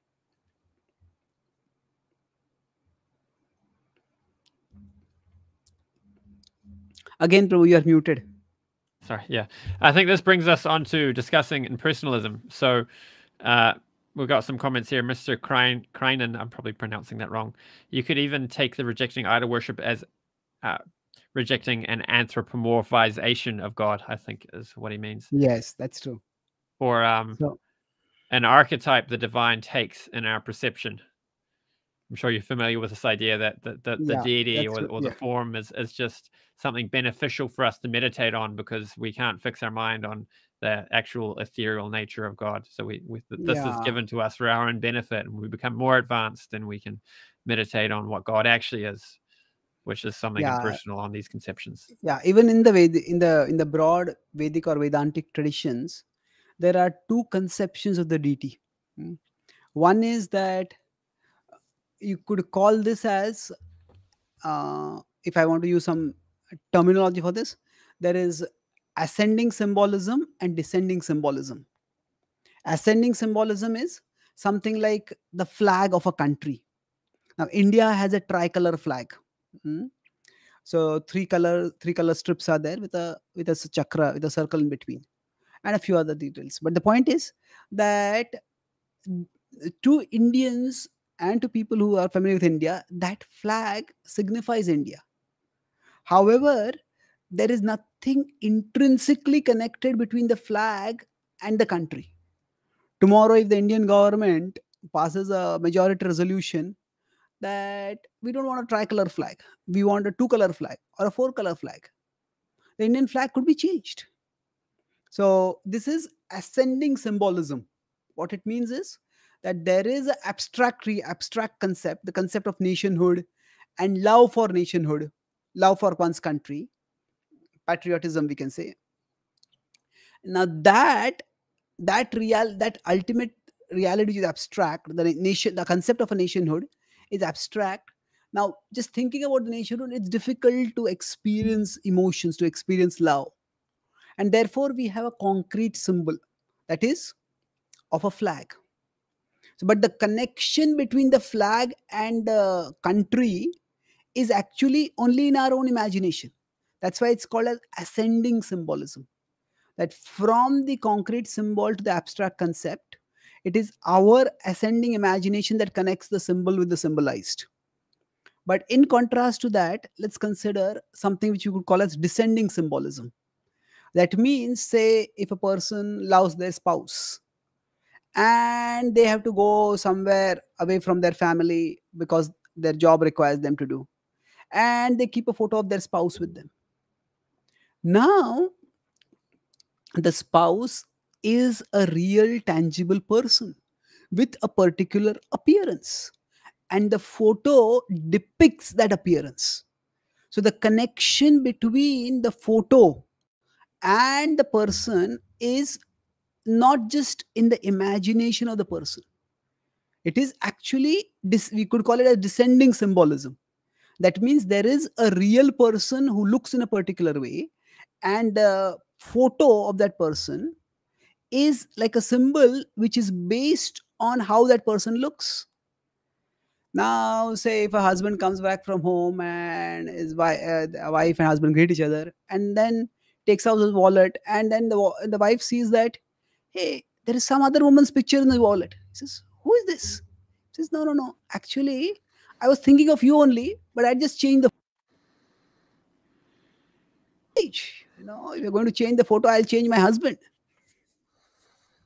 So the point is, this descending symbolism, you cannot change the symbol with the symbolized because there's an intrinsic connection between the two. So within the impersonal, within the Indian tradition, there is the impersonalist and the personal school of thought. So for the impersonal school of thought, the idea of deity is like ascending symbolism. That okay, the ultimate reality is abstract and impersonal, so just take some form and worship it as a transitional tool for meditation. And just as the flag can be changed, similarly, what we are worshipping can be changed. But that is not the conception in the Bhakti tradition, which is much more personalist. We understand that there is an actual person, and that actual person has a form.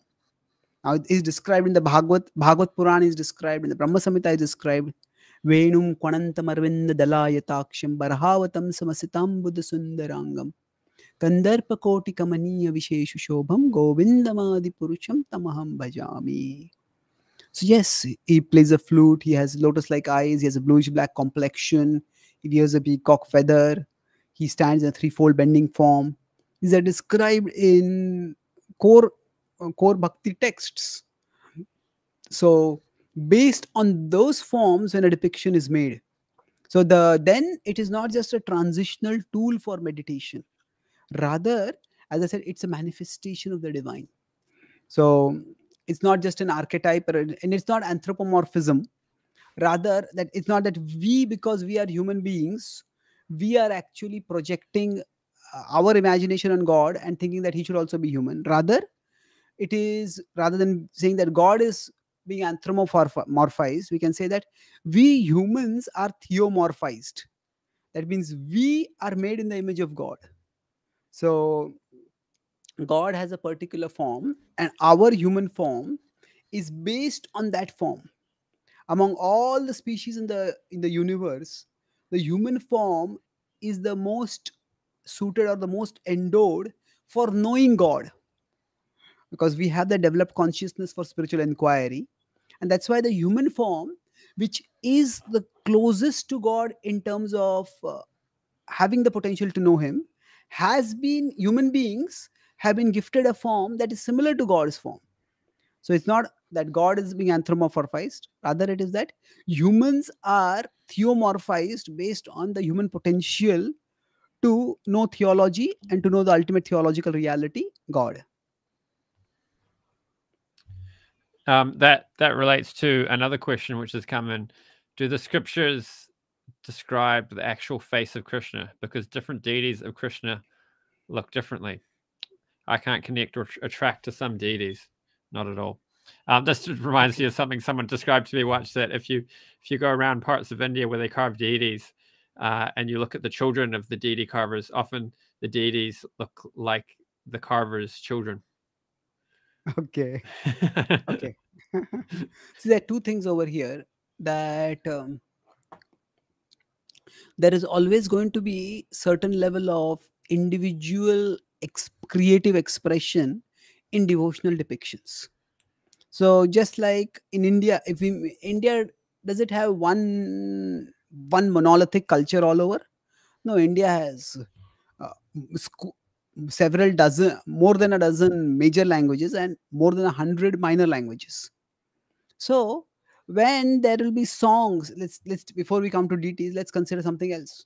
When there will be songs in praise of the divine not everybody is going to speak, speak the same song in the same language. So there'll be linguistic variation and not just linguistic variation within the same language there are dialects. With the same dialect different people may pronounce mm, the words of the songs some words in the songs differently. So krishna is pronounced in some places krishna some places is pronounced as krishna and these are all these are acceptable variants within the broad tradition. So just as there can be linguistic variations similarly there can be visual variations. So when krishna is being depicted there are broad features of his depiction which will be which will be maintained but specifics can and will vary. So there are in different parts of india different art forms have developed. And because different art forms have developed the artists become expert in the particular art forms that they have been trained in uh, they have the opportunity to get trained in and those of them who have some devotional inclinations will depict krishna in those particular forms. Now if um, if somebody uh, some other from other some um, artists from other parts of the world they become also devotionally inclined they depict krishna there could be some uh, some elements of uh, their ethnicity in their depiction on krishna in their depiction of krishna. So does the human does the individuality or the individual background of the human beings uh, come out to some extent in the depiction of god? Yes that does. But does that mean that entire depiction is simply a projection of their imagination? No. They're two very different things that the individual depiction that the depictions are individualized according to culture and other things doesn't mean that the entire depiction itself is a, a is a result of a cultural projection. If that were true then there wouldn't be a consistent vision of krishna as a character and uh, across the indian subcontinent. And yes there are some stories about krishna which are distinctive to particular places but overall the the lore about krishna the stories about krishna uh, that are there across the indian subcontinent are remarkably similar. So it's not entirely definitely not entirely a human depiction but individual artistic experience and expertise will shape how krishna is depicted. I guess an interesting point related to that is when they archaeologically find the remains of some of these deities, the archaeologists with great confidence can say, "Oh, this is the deity of Krishna. This is the deity of Shiva." So, like you were saying, there's, there's some commonality among all of these depictions, even if there's also artistic point. variation. Um, or we're yeah. we're also skirting around the debate of impersonalism versus personalism, you know, you know Vaishnavism versus um, uh, Advaitavad and so on. And maybe we can do something on that. I- I'm hoping to find an Advaitavad scholar who can come on and I can have someone like you or some people are suggesting Amarinja Prabhu to have a discussion where we can actually have two people who know what they're talking about discuss this because often these things come up in comment sections and neither party knows the arguments on either side well enough Yeah. to actually have a fruitful discussion. you know one challenge would be that if you make the debate very scriptural i don't know how much the audience will also be able to connect with it because you have a having a particular audience Mhm. and if you make the debate logical then that that is one way of having the debate where we focus primarily logic and we also talk about scripture for to some extent so then Well, on yeah, what it- uh, depending on you what your yeah go ahead. You can do it logically, but then you get people who say these ideas come from Adi Shankaracharya, and then they present a whole lot of uh, a, world a view which is not susceptible to the arguments leveled by Madhvacharya and Ramanujacharya. And nobody ever accused Madhvacharya or Ramanujacharya of straw manning Adi Shankaracharya. Rather, Madhvacharya in particular, his treatise, uh, Advaitavadis to this day are still discussing how to work around his arguments, and he caused them to revamp their doctrine. Um, so anyone who's saying they're presenting something taught by Adi Shankaracharya, whose views are not susceptible to those arguments, is is not actually re- representing Adi Shankaracharya. So, I mean, that's a question. If somebody says, "Oh, I'm following this imp- this you know this set of traditions who historically Vaishnavas have had vehement philosophical disagreements with," but then when you push them on certain points, they actually don't hold those views which we've objected to historically. Do you have any comments on that? Yeah, that's a very important observation that you made. That uh,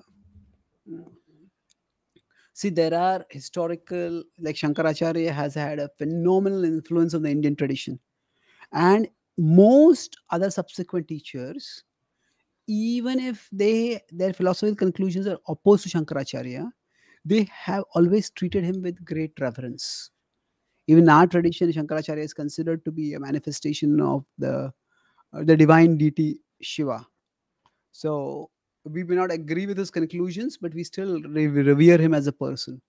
So so what has happened because of this uh, shades with respect to you know whether you respect the person and accept his teachings or you respect the person and uh, but don't accept the teachings or there are there is within the Madhva Sampradaya there's some group which which doesn't regard Shankaracharya at all as divine uh, or as a as a major spiritual teacher. They consider him completely misled. There are a few like that, but because of this wide spectrum, the, how Shankaracharya has impacted people today, whether it's today's individual spiritual teachers or individual spiritual seekers, that can vary a lot. And that's why when we may say that okay, this is what you this is what a particular impersonalist argument is and this is the refutation for it. Or but they may say that that's not my argument at all. So even when we talk about impersonalism there are we can sometimes become very impersonalist about impersonalists. What do i mean by that? That we might just impersonalism is That's basically deni- denying variety. You know everything is just one one object. There's no subject no conscious subject in it. So we may deny the fact that even among impersonalists there are varieties. And there are a lot of people who may have more of a religious veneration for shankaracharya and some of the other impersonal teachers without nec- necessarily even having intellectual conformity with them or even intellect much intellectual awareness of the nature of their teachings. So my understanding is that instead of trying to like pinpoint this is impersonalism and this is what we need to refute. It's much better to recognize that uh, or much better to analyze uh, why impersonalism is such an attractive option why impersonalism appeals to many people and why they have reservation towards personalism and address that. Because once we start having uh, debate on a particular philosophy then what is that philosophy exactly? Determining that itself may take a long time. And here a lot of emotions are invested when it comes to particular spiritual teachers. And those emotions don't necessarily arise because of the teachings of those teacher. They may arise from the charisma of that teacher. They may arise from the spiritual stature of that teacher. They may arise from the from the cultural aura that has been created around that teacher. Mm. am i making sense by what i'm saying here Yeah, I mean, I've got a, a question I wanted to press because it's something I've I've wondered about. Like, uh, suppose I'll I'll give an analogy which might be a little cru- crude, but but let's say you meet people who say we're followers of Al- Aleister Crowley, and you're like, well, he was a Satanist, and you know all these bad things, and and then you press them on all the views they hold on different things, and they they all the views they describe come out as perfect Christianity, and you're like, but you're calling yourself a follower of Aleister Crowley, and it's like, do we need to like I'm just just just keeping on the analogy for now. Is there any value in, in disabusing this person of their reverence for Aleister Crowley, or or should we just say, well, as long as you're believing these things and those beliefs are fine, let's just agree and that's cool. Because you know with adi shankaracharya we think he gave a distorted interpretation of the vedas. So if somebody comes along and and they've they've got various philosophical views right and we don't have major objections to their understanding or see it as an impediment to bhakti um, but still they've they've got this reverence for someone who gave teachings which are if followed properly an impediment to bhakti so um, how much should we be interested in sort of like, well, maybe you should shift your allegiances over to people who are actually giving an accurate understanding of the Vedas? Yeah. Or should we just it's, be happy if the philosophical conclusions are all right? Well, okay. I mean, that's an important point. That with, with respect to helping others on their spiritual journey towards spiritual evolution, it's not necessarily one zero. Mm, that you have to that people's spiritual journey is not determined only by their philosophical affiliations. It also depend on, it depends on the service attitude. Sometimes their philosophical affiliation to a particular tradition may also make them open to service attitude towards the whole broad tradition. Many of the people, many of the Indians who helped Srila Prabhupada in establishing the Krishna consciousness movement in India you know, Prabhupada started the movement in America and then he came to India and he built several grand temples in India. So many of the Indians who helped him build those grand, grand temples, most of them didn't become his committed followers or, or initiated disciples. Most of them were already initiated by some other gurus who were who were what we would call as impersonalists. But they had great cultural appreciation for what for the work that Swami Prabhupada was doing and they went out of their way to help him in many many ways. And uh, that's what was the focus. So prabhupada didn't uh, if the issue came up prabhupada addressed it but prabhupada didn't make it an issue that you know why are you following this particular teacher? What are his beliefs? Prabhupada didn't make it a uh, make it the central thrust of his relationship to disabuse them of their philosophical conceptions. He focused on engaging them in service because they already had service attitude and they did a great amount of service to krishna and they would benefit from that. So it all depends on time place circumstance. My understanding is that we we need to ensure that uh, we are we don't end up fighting battles that we don't need to fight. That for this person at this level what is the step forward for them? And if that's uh, that step forward involves confronting their philosophical cons- present conceptions or affiliations that's what maybe need to may need to be done. But maybe that is not the thing that is required. Maybe right now let's maybe they can channel their service attitude their humanitarian attitude their their their empathic support for spiritual wisdom and spiritual culture and channel it and engage them. And then graduate this is what krishna talks about in 326 in the gita. He said don't disturb the minds of others. Engage them for the elevation. So that is a, that is an instruction that can be very easily neglected. Um, if we have a if we have a very black and white kind of understanding of spiritual outreach which is centered only on philosophical conceptions and not on treating people as complete complex persons with who have many facets to them uh, there's a couple more questions, but we'll try and wrap it up soon. Uh, this one is just yes. on, on the point we are discussing. Uh, remember, guys, that without holding to dogmas over experience, there's less dividing the Sanskrit wisdom traditions and philosophies than they have in common. Um, do you understand what's being said there? I, I well, would think. I'm inclined to think it's saying that that um, the disagreements we have within the Sanskrit wisdom traditions uh, they're not so much and they have more in common.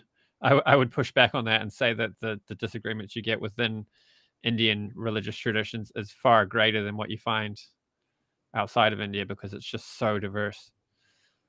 Okay. But, uh, but it could also it could also be this point you get, which is common that this is something Sadhguru teaches that if you just forget about dogma, forget all about that, and just focus on what you actually firsthand have experience of as a result of your religious practice or just in everyday experience, then we will find we agree on a lot more. It's the disagreements comes from the things we're told to believe that we don't actually have firsthand experience of, and that's what everyone's fighting over. That is a that is I would say a good point. See, there is there definitely a vibrant intellectual tradition of debate within Indian Indian philosophical history. No doubt about that. There are books like The Argumentative Indian which depict this. Of course, I don't agree with everything that the book says about depicting Indian history, but my point is that there is a vibrant tradition of intellectual confrontations and intellectual debates. However, that did not become acrimonious in terms of ad hominem attacks. That there is very there's a overall foundation of respect. So sometimes that gets lost when uh, when the debates become not just philosophical but they become personal and then what results is vitanda. Vitanda means somehow or other win the debate, even if it that means ad hominem attacks and assassinating the character of the uh, opponent. So that that was not what would happen in the Vedic tradition. So, and uh, the as I said, because the differences between the at least the theological or philosophical differences wouldn't become acrimonious, that wouldn't that wouldn't lead to mm, major conflicts among the followers. So somebody might be a personalist and somebody might be impersonalist, and still they might all be a part of a joint extended family, and they would still uh, live co- amicably. So the the point is that are there differences at the philosophical level? They are there. Are they important? Well, they are important to understand the nature of ultimate reality, and intellectual scholars and scholars of particular traditions uh, have debated on those issues but they have not become major issues for conflicts among individuals. So there is the capacity to differentiate between philosophy and culture. That at a cultural level there's a lot common within the broad indian tradition say for example there is the respect for the deities respect for cows respect for the vedas there is respect for renunciation and the renounced order. There is uh, high regard for sonic theology, uh, divinity manifesting through sound in its various forms. So there are there is a usually agreement on karma and reincarnation. So there are many things which are common within the Vedic tradition, and at a cultural level, even at a philosophical level, and those shouldn't be overshadowed when we talk about differences. So yes differences are there but they don't have to they haven't broken the masses apart. There is nothing in indian history like say the the conflict the 100 year war between catholics and protestants. Hmm. although the debate between personalists and impersonalists has gone on for almost a thousand years starting from the 10th century when ramanujacharya wrote the first major refutation of shankaracharya uh, down to today. That debate is going on, but but personalists and impersonalists have never had wars among themselves. So the so in that sense, the philosophical was never made the universal, and the philosophical did lead to sectarian conflicts among the masses. Sounds like what I've seen goes on in modern academic philosophy circles, where people will disagree vehemently about something to do with philosophy of religion or another philosophical point, either epistemology or ontology, uh, and they'll they'll debate it. They'll they'll go back and forth and submit papers, and they'll they'll have they'll have a lot of, and they're, they're having fun, and um yeah, and it, it, doesn't become acrimonious as you described. It's it's an intellectual thing. They're putting effort into it. I think one key feature of this is, in general, philosophers don't think that if you don't subscribe to my philosophy, you're going to suffer in hell eternally. And every time you open your mouth and attract people to your philosophy and away from my philosophy, you're bringing more people to an eternal fire of hell.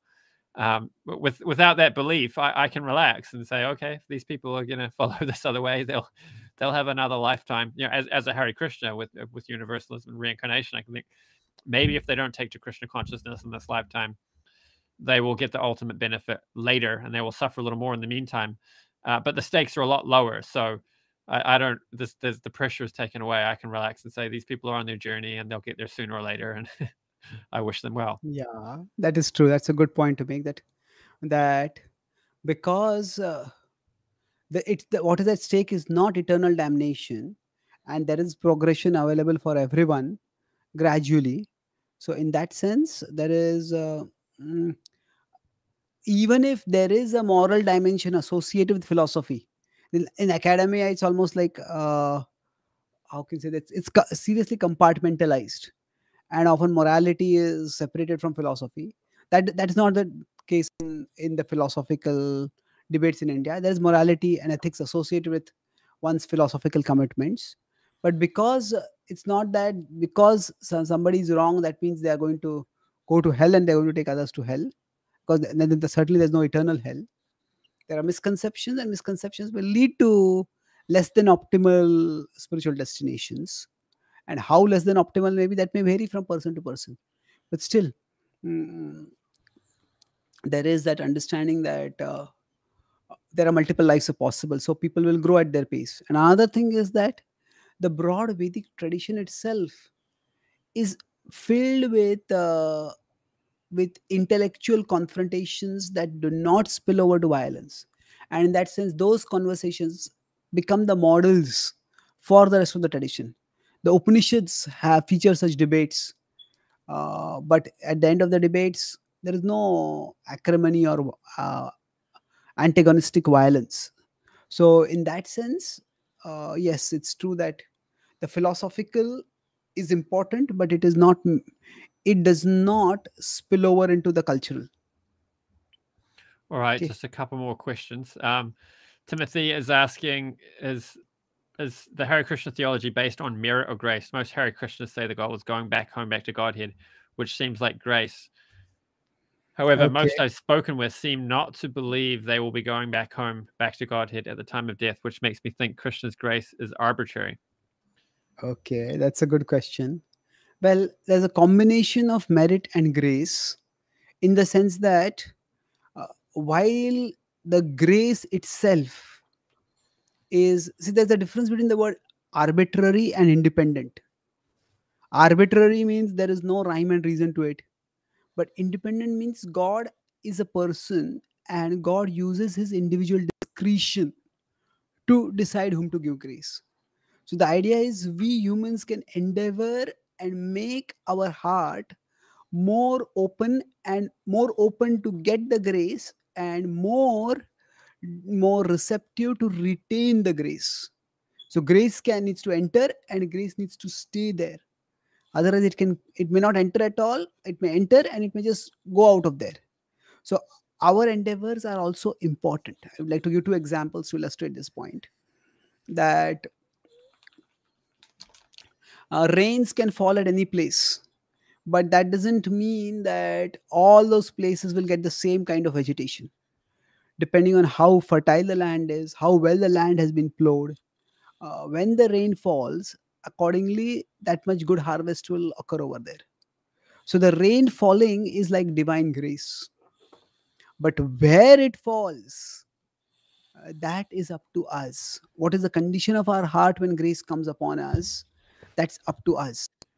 So we can prepare our heart by spiritual practices to make the land fertile to make the land of our heart fertile and receptive when the grace comes then the harvest will grow smoothly and even luxuriantly. And so there is grace is at the spiritual level but there is a significant transformation that can happen even at the material level in the sense we have the three modes ignorance passion goodness. So we can make endeavors and by our endeavors gain the merit to rise toward goodness. And that can also make us substantially more receptive so we could say that uh, we can compare the mode of ignorance to like a complete insulator which does not allow the current of grace to enter much or even the current of consciousness to manif- from within of the soul to manifest much. I can say the mode of passion is like a semiconductor. The mode of goodness is like a conductor. So now of course divine grace has the power to penetrate there's a huge electric uh, surcharge or power surge then even a conductor might be penetrated. So god's grace can deliver even those who are in ignorance if it is in, in exceptional circumstances that is possible. But in general if our heart is more receptive to the flow of to the uh, entry uh, to entering uh, to the entry and the ongoing presence of divine grace then definitely the process can work faster so we can acquire merit. Our merit doesn't itself produce grace and our merit alone doesn't uh, lead us to spiritual perfection. But our merit can make us more receptive to attaining and retaining grace.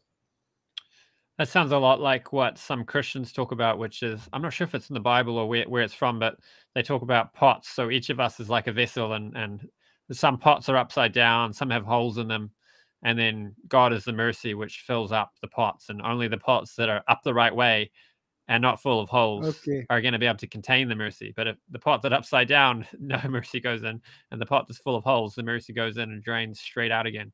So, uh, yeah, it's this idea that that the mercy is how we're saved. Uh, we, we can't possibly save ourselves, but we need to position ourselves so that we can receive the mercy. And That's a good example. Practices Yeah. which which please God and you know, position ourselves in this way.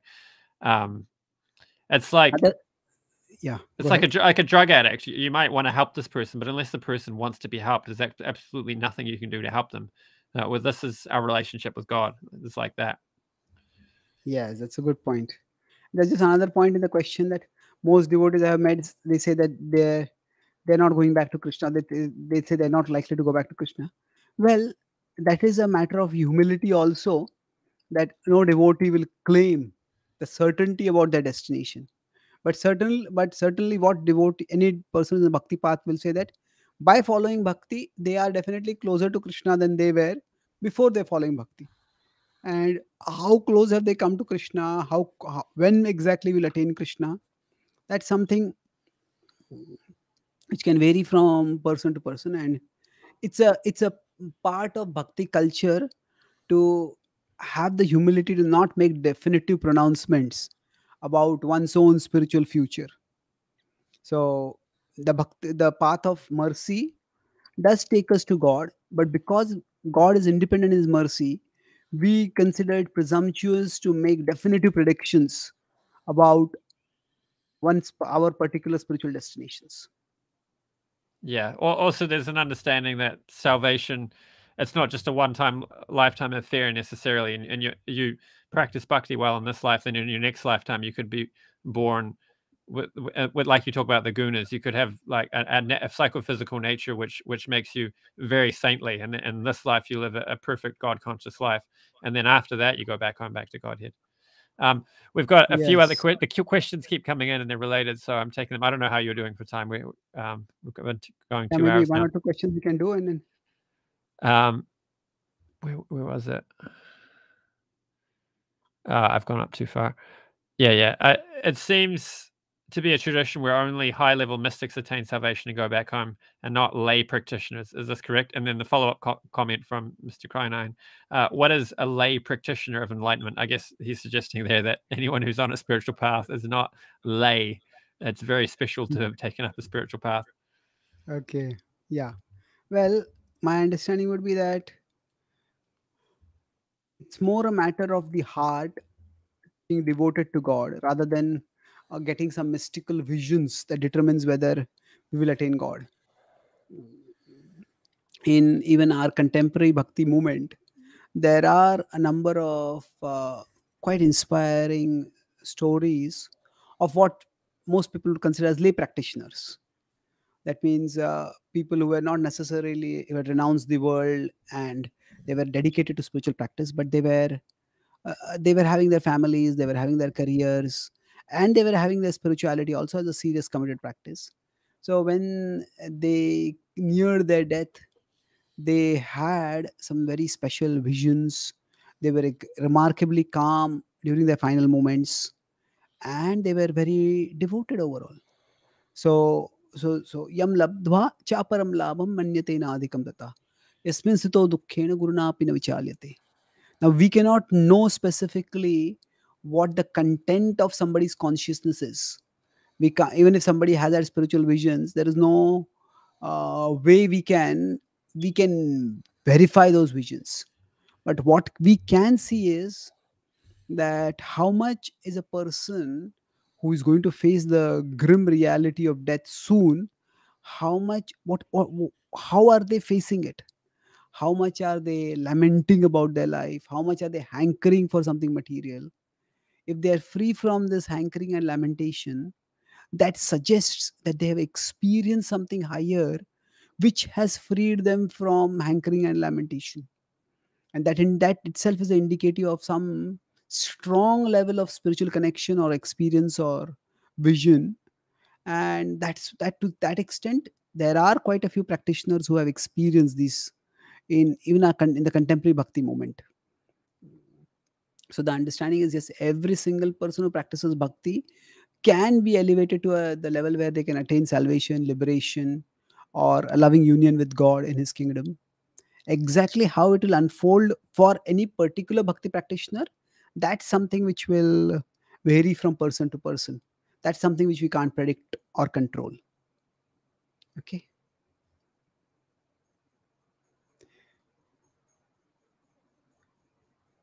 prabhu you are you are mute again All right. So uh, one more question from Reverend Taco's Entertainment Channel. Uh, let's talk about grace. Yeah. In the guest view, is there an equivalent to an Adam and Eve story? Uh, also, is the guest saying that karma can be mitigated through grace?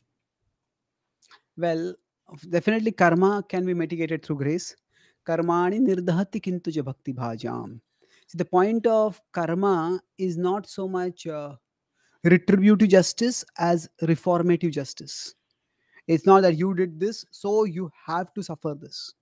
That's not the point. The point is ultimately reformation.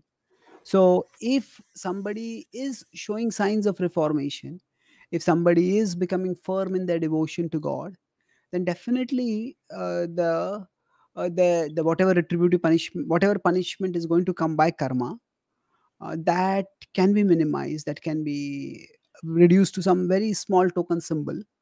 And in that way grace can over override or overcome karma. Now as far as the adam and eve story is concerned well there can be multiple levels of parallel that can be talked about. There is uh, when there are cosmic ages and divisions called uh, manvantaras and there is adam and havyavati and they are two two leaders in the cosmic administration and several of the characteristics of their lives that are described are similar to adam and Eve- so this come in the puranic uh, in the puranas which are one body of literature within the vedic tradition. Now specifically about the fall that idea that adam and eve they fell from paradise because of uh, eating a forbidden apple. Now within the within the bhakti tradition there are divided opinions about this some people support the idea that the souls were with with god and they fell because of defiance. Now how that defiance came out about it also is a whole elaborate question. But the broad principle is that focus less on post-mortem and focus more on prognosis.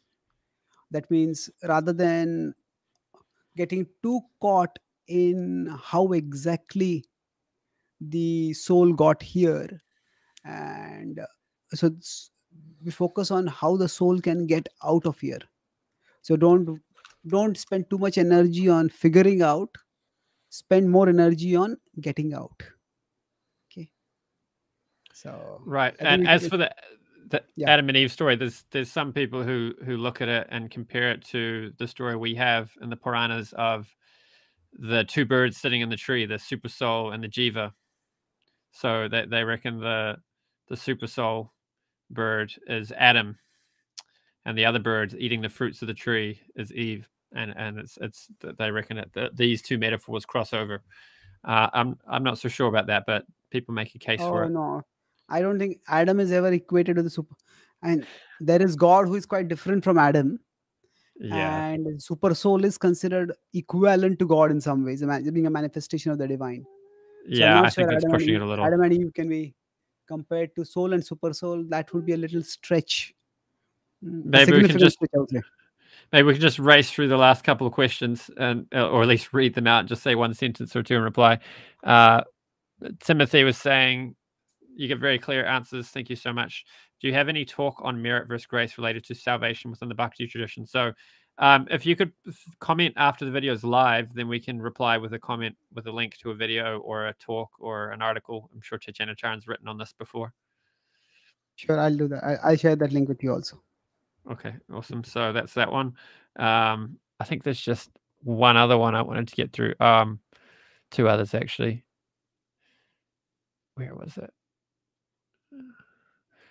A personalist and impersonalists could agree that they are talking about the same experience of God.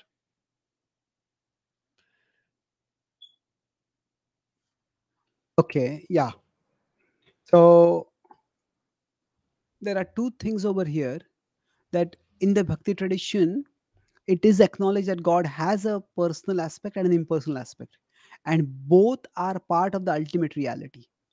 So that's why impersonal liberation is also considered a valid and uh, and a exalted level of attainment. Hmm. So yes, there could be one. There is one ultimate reality, and that one ultimate reality may be experienced by some people from as, as by by impers- impersonalists in a particular way and personalists in another way. So that is perfectly acceptable. Krishna talks about this also in 12.4 and 5 in the Bhagavad Gita. The challenge, however, comes when any one school of thought starts absolutizing its own experience and demeaning or dismissing the other experience. So that's why within our tradition, impersonalism is seen in two ways. One we could say is that uh, the technical words are used as Brahmavad and Mayavad, but we could talk it of as as uh, non-exclusive liberation and exclusive liberation. Eh, sorry, non-exclusive impersonal liberation, exclusive impersonal liberation. So non-exclusive means yes, I am attracted to the impersonal aspect of the divine, and that's what I want to attain. And there may be a personal aspect, but I that's not what attracts me. So that's non-exclusive, and that is what is accepted in the Bhagavad Gita. But there are others who are exclusivists about the impersonal conception. So this this exclusive conception of liberation holds that that the divine has no personal aspect at all, and the idea of loving the divine as a person is an illusion which needs to be transcended because the divine as a person itself is an illusion. And that that is an idea which is considered uh, antagonistic to the glory of the ultimate reality. And krishna in 9 11 and 12 in the bhagavad gita he strongly reproaches those who hold such an idea so when impersonalists start becoming exclusivists in claiming that the ultimate reality is only impersonal and the personal is an illusion then that is where uh, things start falling apart and that's where reconciliation becomes difficult. But but but the fact that both may be experiencing the same reality from different features that's definitely uh, accepted in the bhagavad gita Oh, there was one more I missed actually. Uh, Random is asking, is it necessary to gain moksha after death? What if I don't want moksha? What if I want rebirth to come again and again on this earth? yes uh, nothing is in one sense necessary because we can say that each of us at a physical level we can say there are objectively certain necessities we need food air water to live but depending on the level of our spiritual evolution we may or not may or may not feel our feel spiritual growth to be a necessity. So the idea is that as we awaken spiritually more and more then we start realizing that it is in the spiritual domain that our longing for love and life and light eternal can actually be fulfilled. That that these longings become more strong and how the these longings are going to be sorry that the nature of these longings become not that longings become stronger but the nature of these longings become cle- clearer. And the nature of the world in its inability to fulfill these longings also becomes clearer. And that is when the spiritual urge becomes stronger. So if somebody doesn't have the any aspiration for liberation right now then at least one can try to elevate, ex- expand one's consciousness that okay maybe i'm not interested in the ultimate spiritual but let me try to think of something bigger than myself. Contribute to something bigger. You know, be kind be courteous be charitable. Be a part of something bigger than oneself. Krishna talks about four levels multiple levels in the 12th chapter and he says if somebody is not in a position to be spiritually connected devotionally connected then at least let them become selfless. That sarvakarma phalatyagam tatah kuru yatatmavan that that become become connected to some cause bigger than oneself. And that will also keep us on the spiritual path. So yes if we think that i want to come back here again then okay let's try that let's try to live a more meaningful life. Let's prepare ourselves. Let's live in such a way that when if we come again we'll be living more meaningfully that we'll be contributing more to the world constructively through our activities. So then that is also that will also keep us on the progressive spiritual path. Okay. I, I guess one way we could say that is you won't uh, reach the spiritual world until you've reached a state where you'll be happy there. Yes it's not that liberation is going to be thrust upon us when we don't want it. It's when we value it more than everything else that's when we will will be given it. Otherwise you know it's not really libera- liberation if we are not at the liberty to choose it ourselves as our foremost desire. I'm not sure if you want to take this one now but someone's asking what's your opinion on sadhguru? It's difficult to uh, have an opinion on any particular spiritual teacher but i will separate into three parts there is his uh, there is his uh, you could say social activist kind of message he has. There is a cultural message he has. And there is a philosophical message he has. So as far as the social activist message is concerned he talks about various uh, like his, his activities for environmental consciousness some of his humanitarian work that he inspires. All that is good and he's inspiring others also to do good through that. And in that sense it's good. As far as some of some of his cultural activities are concerned know, there are he is able to reach a significant number of young people. And uh, if if some of his answers inspire them to respect spiritual culture more then that is that is also a healthy thing. Of course i would say he is uh, i have the biggest concerns about his philosophical answers because he often openly professes that openly state that he has not really read the vedic texts and uh, many of the vedic texts. He comments on ramayana but he doesn't really say that he has categorically read the ramayana and in his philosophy he seems to focus more on uh, non-commitment than clarity or coherence. That means you know don't commit yourself to any school of thought but then do does he have a systematic worldview? He wrote a book on karma and he does has, that book has contributed to say bringing karma more into mainstream consciousness but he has removed the concept of divinity from karma. Now divinity is a central aspect of indic spirituality and if he if he removes divinity entirely from the corpus of his teachings then is he actually teaching indian philosophy or or any any school of indian philosophy? Or he is uh, he is just using the social stature of being of being seen as an indian spiritual teacher to just teach what he believes. So from that perspective i have reservations about what he's teaching uh, at the same time at a humanitarian activist level or he is uh, so he is doing uh, work that is inspiring others toward higher consciousness. That's why like i earlier said that that you know we can't reduce people people are complex and we can't just reduce them to one aspect. And that's why it's difficult to give a comment based on uh, comment of a particular spiritual teacher. But still i would say based on these three categories that might get help you get some sense of uh, what my understanding of Sadhguru would be. Okay. Prabhu, again, you are muted. Sorry. I was discussing with someone on Facebook recently about Sadhguru, and they were saying he he goes beyond the Vedas. Because I was pointing out how his views, you kind of have to reject the Vedas if you want to accept what he teaches, because his views are inconsistent with what the Vedas teach. And they were saying, oh no, he's he transcends the Vedas. He goes beyond them which I think is a, a euphemism for rejecting the Vedas. Well, if somebody says transcend the Vedas, okay, what do we do after transcending the Vedas? Does that now Krishna also says go beyond the Vedas? But when he's going beyond the Vedas, he's not din- dismissing or de- uh, he's not deriding the Vedas.